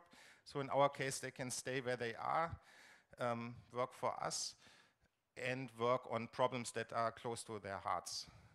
So, it's a win win for everybody because we have the local expertise and uh, we good, uh, get good employees, and uh, the country benefits because somebody is working on their problems, and also um, they don't leave, so they are there in the community and can inspire others. So let me go a bit into detail what we actually teach in these courses. So the quote, if women are expected to do the same work as men, we must teach them the same things, as you noticed on the picture. So this Ethiopia course was only female students. So um, what we do, we have done that three times now, um, is roughly eight weeks of Haskell. I'll talk about Haskell a bit more in a second. And um, it's, it's a very intense course, so we start at the very basics. In principle, all you, I mean, we normally take university graduates as students, but in principle, all you need is, is like a analytical, mathematical mind. Um, because Haskell is quite different to other languages, so having like lots of experience or uh, having had courses at university normally don't give you much of an advantage. And uh, it's a mixture, so it's uh, lectures, assignments, projects. It's a full-time course, so five days a week, 10 weeks, actually 12 weeks now in Ethiopia. So we try to mix um, theory and practice. And that was incidentally also in Ethiopia quite interesting. So uh, the, it seems the education there leans more on the theoretical side. So the students did fine uh, with the lectures until we did our first assignments. And then with the first assignment, it was quite horrible, the result. And so we noticed that um, I mean, understanding something and actually being able to sit at the computer and, and code a solution is two different things. So then we switched and did much more examples and sat down with every student and answered their questions worked with them. So uh, this mixture is very important to, to mix the theory with actually working on projects. And um, so, of course, we try to, because we are a blockchain company, wherever possible, we try to use examples from the blockchain domain. So one of the projects that's very um, popular amongst the students in all the courses I've done so far is actually writing a peer-to-peer -peer client. And then it's fun because they have different groups and then if it's successful, the, the solutions of the different groups can actually discover each other and talk to each other. So the students always love that. And um, so originally it was an eight weeks course, just Haskell, but now recently IOHK announced uh, our um, smart contract languages, Plutus and Marlowe. So at this particular course in, in Ethiopia, we also tagged on two weeks uh, where we taught that. So um, let me talk a little bit about Haskell. So I mean, there are always people that demand that uh, education, university, uh, is too theoretical and should be um, should prepare people better for the for the market and, and for actually working at companies. So um, people criticize that students waste their time learning stuff like whatever, history, philosophy. I personally think that's a very bad idea. I think uh, education, general education is important. And I think that if we would emphasize that more, we maybe would have less problems now with right-wing populism in Europe and the US. So I think, for example, history is very important. Well, Haskell is of course not history, but at least it's quite general. So uh, Haskell is not only used by IOHK, it's a, it's a 30-year-old language, and um, it's not mainstream, so it was first created by a committee, which is normally a bad sign, but in this case it worked out very well. And um, it's a so-called functional language, I mentioned that before, which means it's very mathematical, very structured, and it actually, learning Haskell forces you to, to approach problems in a, in a different way and have a different look at, at problems. So I always say that even if somebody does the course and then doesn't end up working for us and just ends up working for um, in another mainstream language like Java or Python, it's still worth it because even uh, for normal software developers, having learned Haskell gives you a totally new perspective on, on problem solving. So in that sense, it's a very general thing. It just so happens that at IHKV, Haskell is basically our main language. So um, of course, it's useful if you end up working for IOHK learning Haskell, but its use is far beyond that. Um, this might be a bit technical, but let me talk a little bit about it. So it's purely functional and lazy. functional basically means that things behave more in like mathematics than in other languages. Lazy means um, basically Haskell only does work if the result is needed. So if you never look at the result, it's not even computed. Which is very important is this explicit effects. So maybe just briefly in, in a normal language like Java, if you have a function that takes a number and returns a number, then if you call that function twice with the same number, with three, it might happen that once you get five and then you get seven, because the function can do something like um, go on the network and Google something, for example, and you don't see that. But in Haskell, it's not like that. So if you have a Haskell function from taking a number, returning a number, and you are guaranteed that each time you put in seven uh, or three, you get out five. And that, of course, uh, that makes it easier to analyze it. And being able to analyze it is important, especially for us, for cryptocurrencies, because you want to prove properties of your programs that, for example, nobody can steal your money. Right, so it's not mainstream. So that's what I mentioned before. It's actually um, basically all the students start on a clean slate because um, most people haven't learned it at university, have never heard of it. So, so it's something new, but uh, it also gains popularity, has gained popularity over the last years because it has certain advantages. For example, for if you have multi-processor machines, Haskell programs are somehow behave nicer than other uh, programs written in other languages. So it is more popular now than it was five years ago, but it's still not mainstream.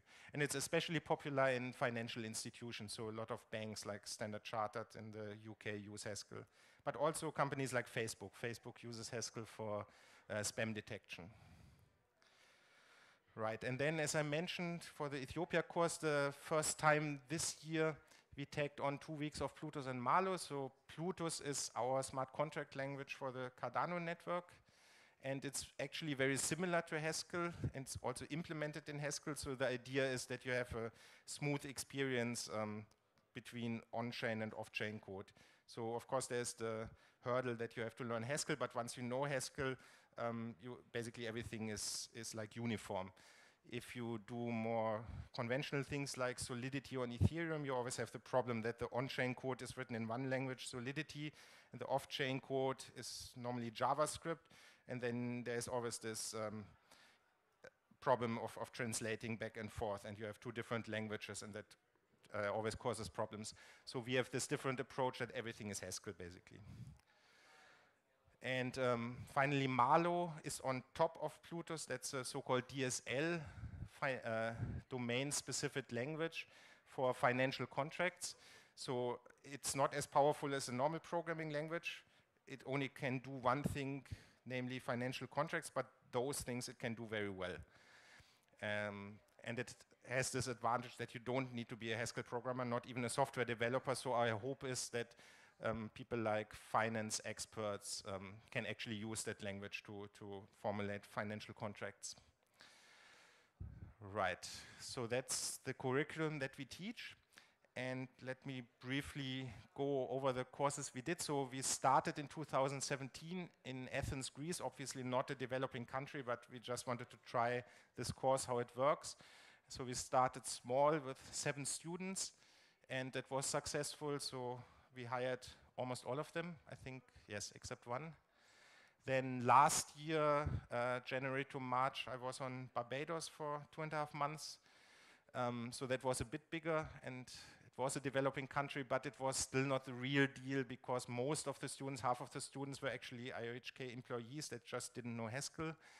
But um, there were some external ones and we also hired them. And then basically the greatest success so far and also for me very emotional and very um, heartwarming was this course in Addis Ababa, Ethiopia now. So as I mentioned, all female students. It was incidentally um, the African Summit was meeting in Addis Ababa last year, and uh, one of the things on their agenda was um, um, how to how to help women, and uh, so it was important for the Ethiopian government that we do this, and uh, we have gotten some criticism for that that we did this all-female course. But I think it was a great idea and it worked out really well. And if you look at the previous slides, I mean, it was open for everybody, but of course only men joined. So I think that was a nice balance now to, to, to have this course only for women. 22 Ethiopians, four from Uganda, and um, we are right, right now in the process of hiring all of them. So some are already on board, and, but it's still um, going on.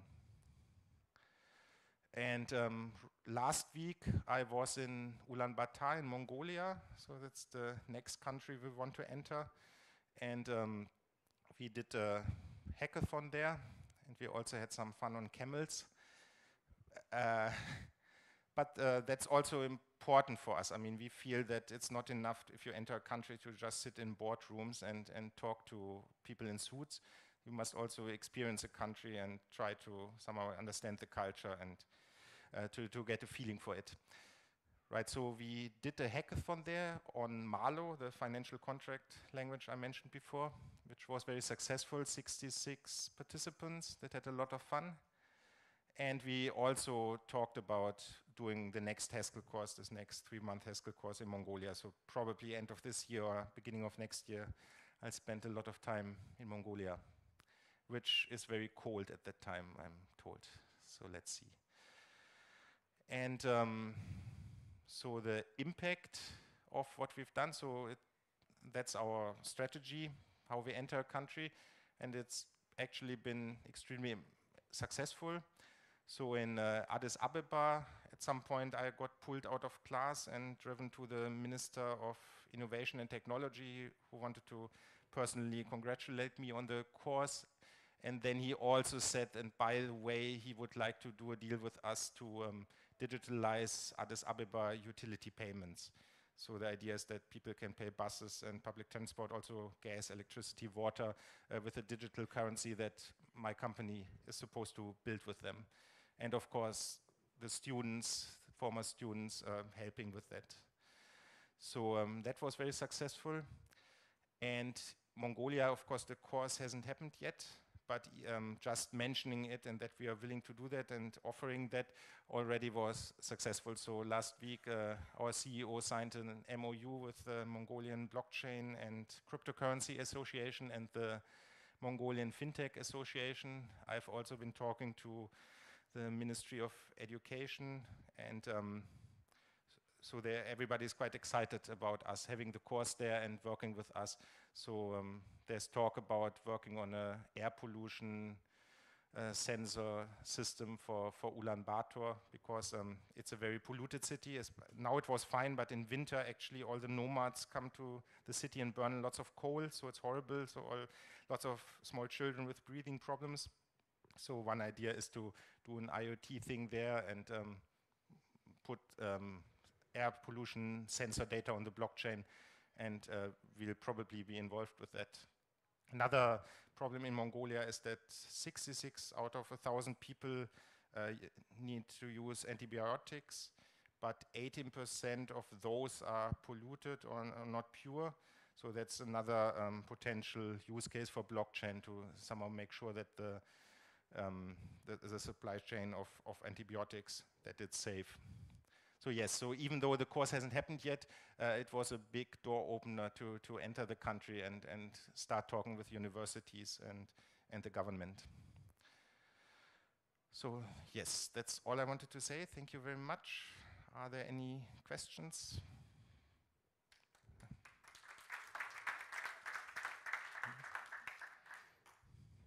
Hello.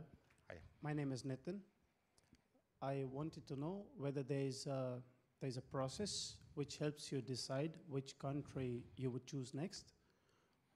Or can we approach you directly? For example, I would like you to do such a course in India in association with my company there. Mm -hmm. Would you be open to such ideas or you just choose your companies or uh, countries on your own? Um, I mean, we are still growing, growing very fast. So we only started two years ago. So uh, until now, it has been a bit ad hoc but we um, we try to, to bring more structure into it. So we would definitely be open to the suggestion. I can't promise that we'll actually do it, but it would definitely be interesting to talk to you about doing it in India. Thank you. Thank you. You're welcome. Any further questions? Okay, another round of applause for Dr. Brünjes. Thank you very much. Thank you. It's always a pleasure to uh, hear um, speakers from uh, Cardano who have very refreshing views to share with us. Refreshing views, which I hope are as refreshing as the break we'll be having now. We have a 15 minute break. Coming up after that, we have uh, speakers from uh, Waves, the Malta Digital Innovation Authority, and others as well. So make sure you stay around after the break. See you in 15 minutes.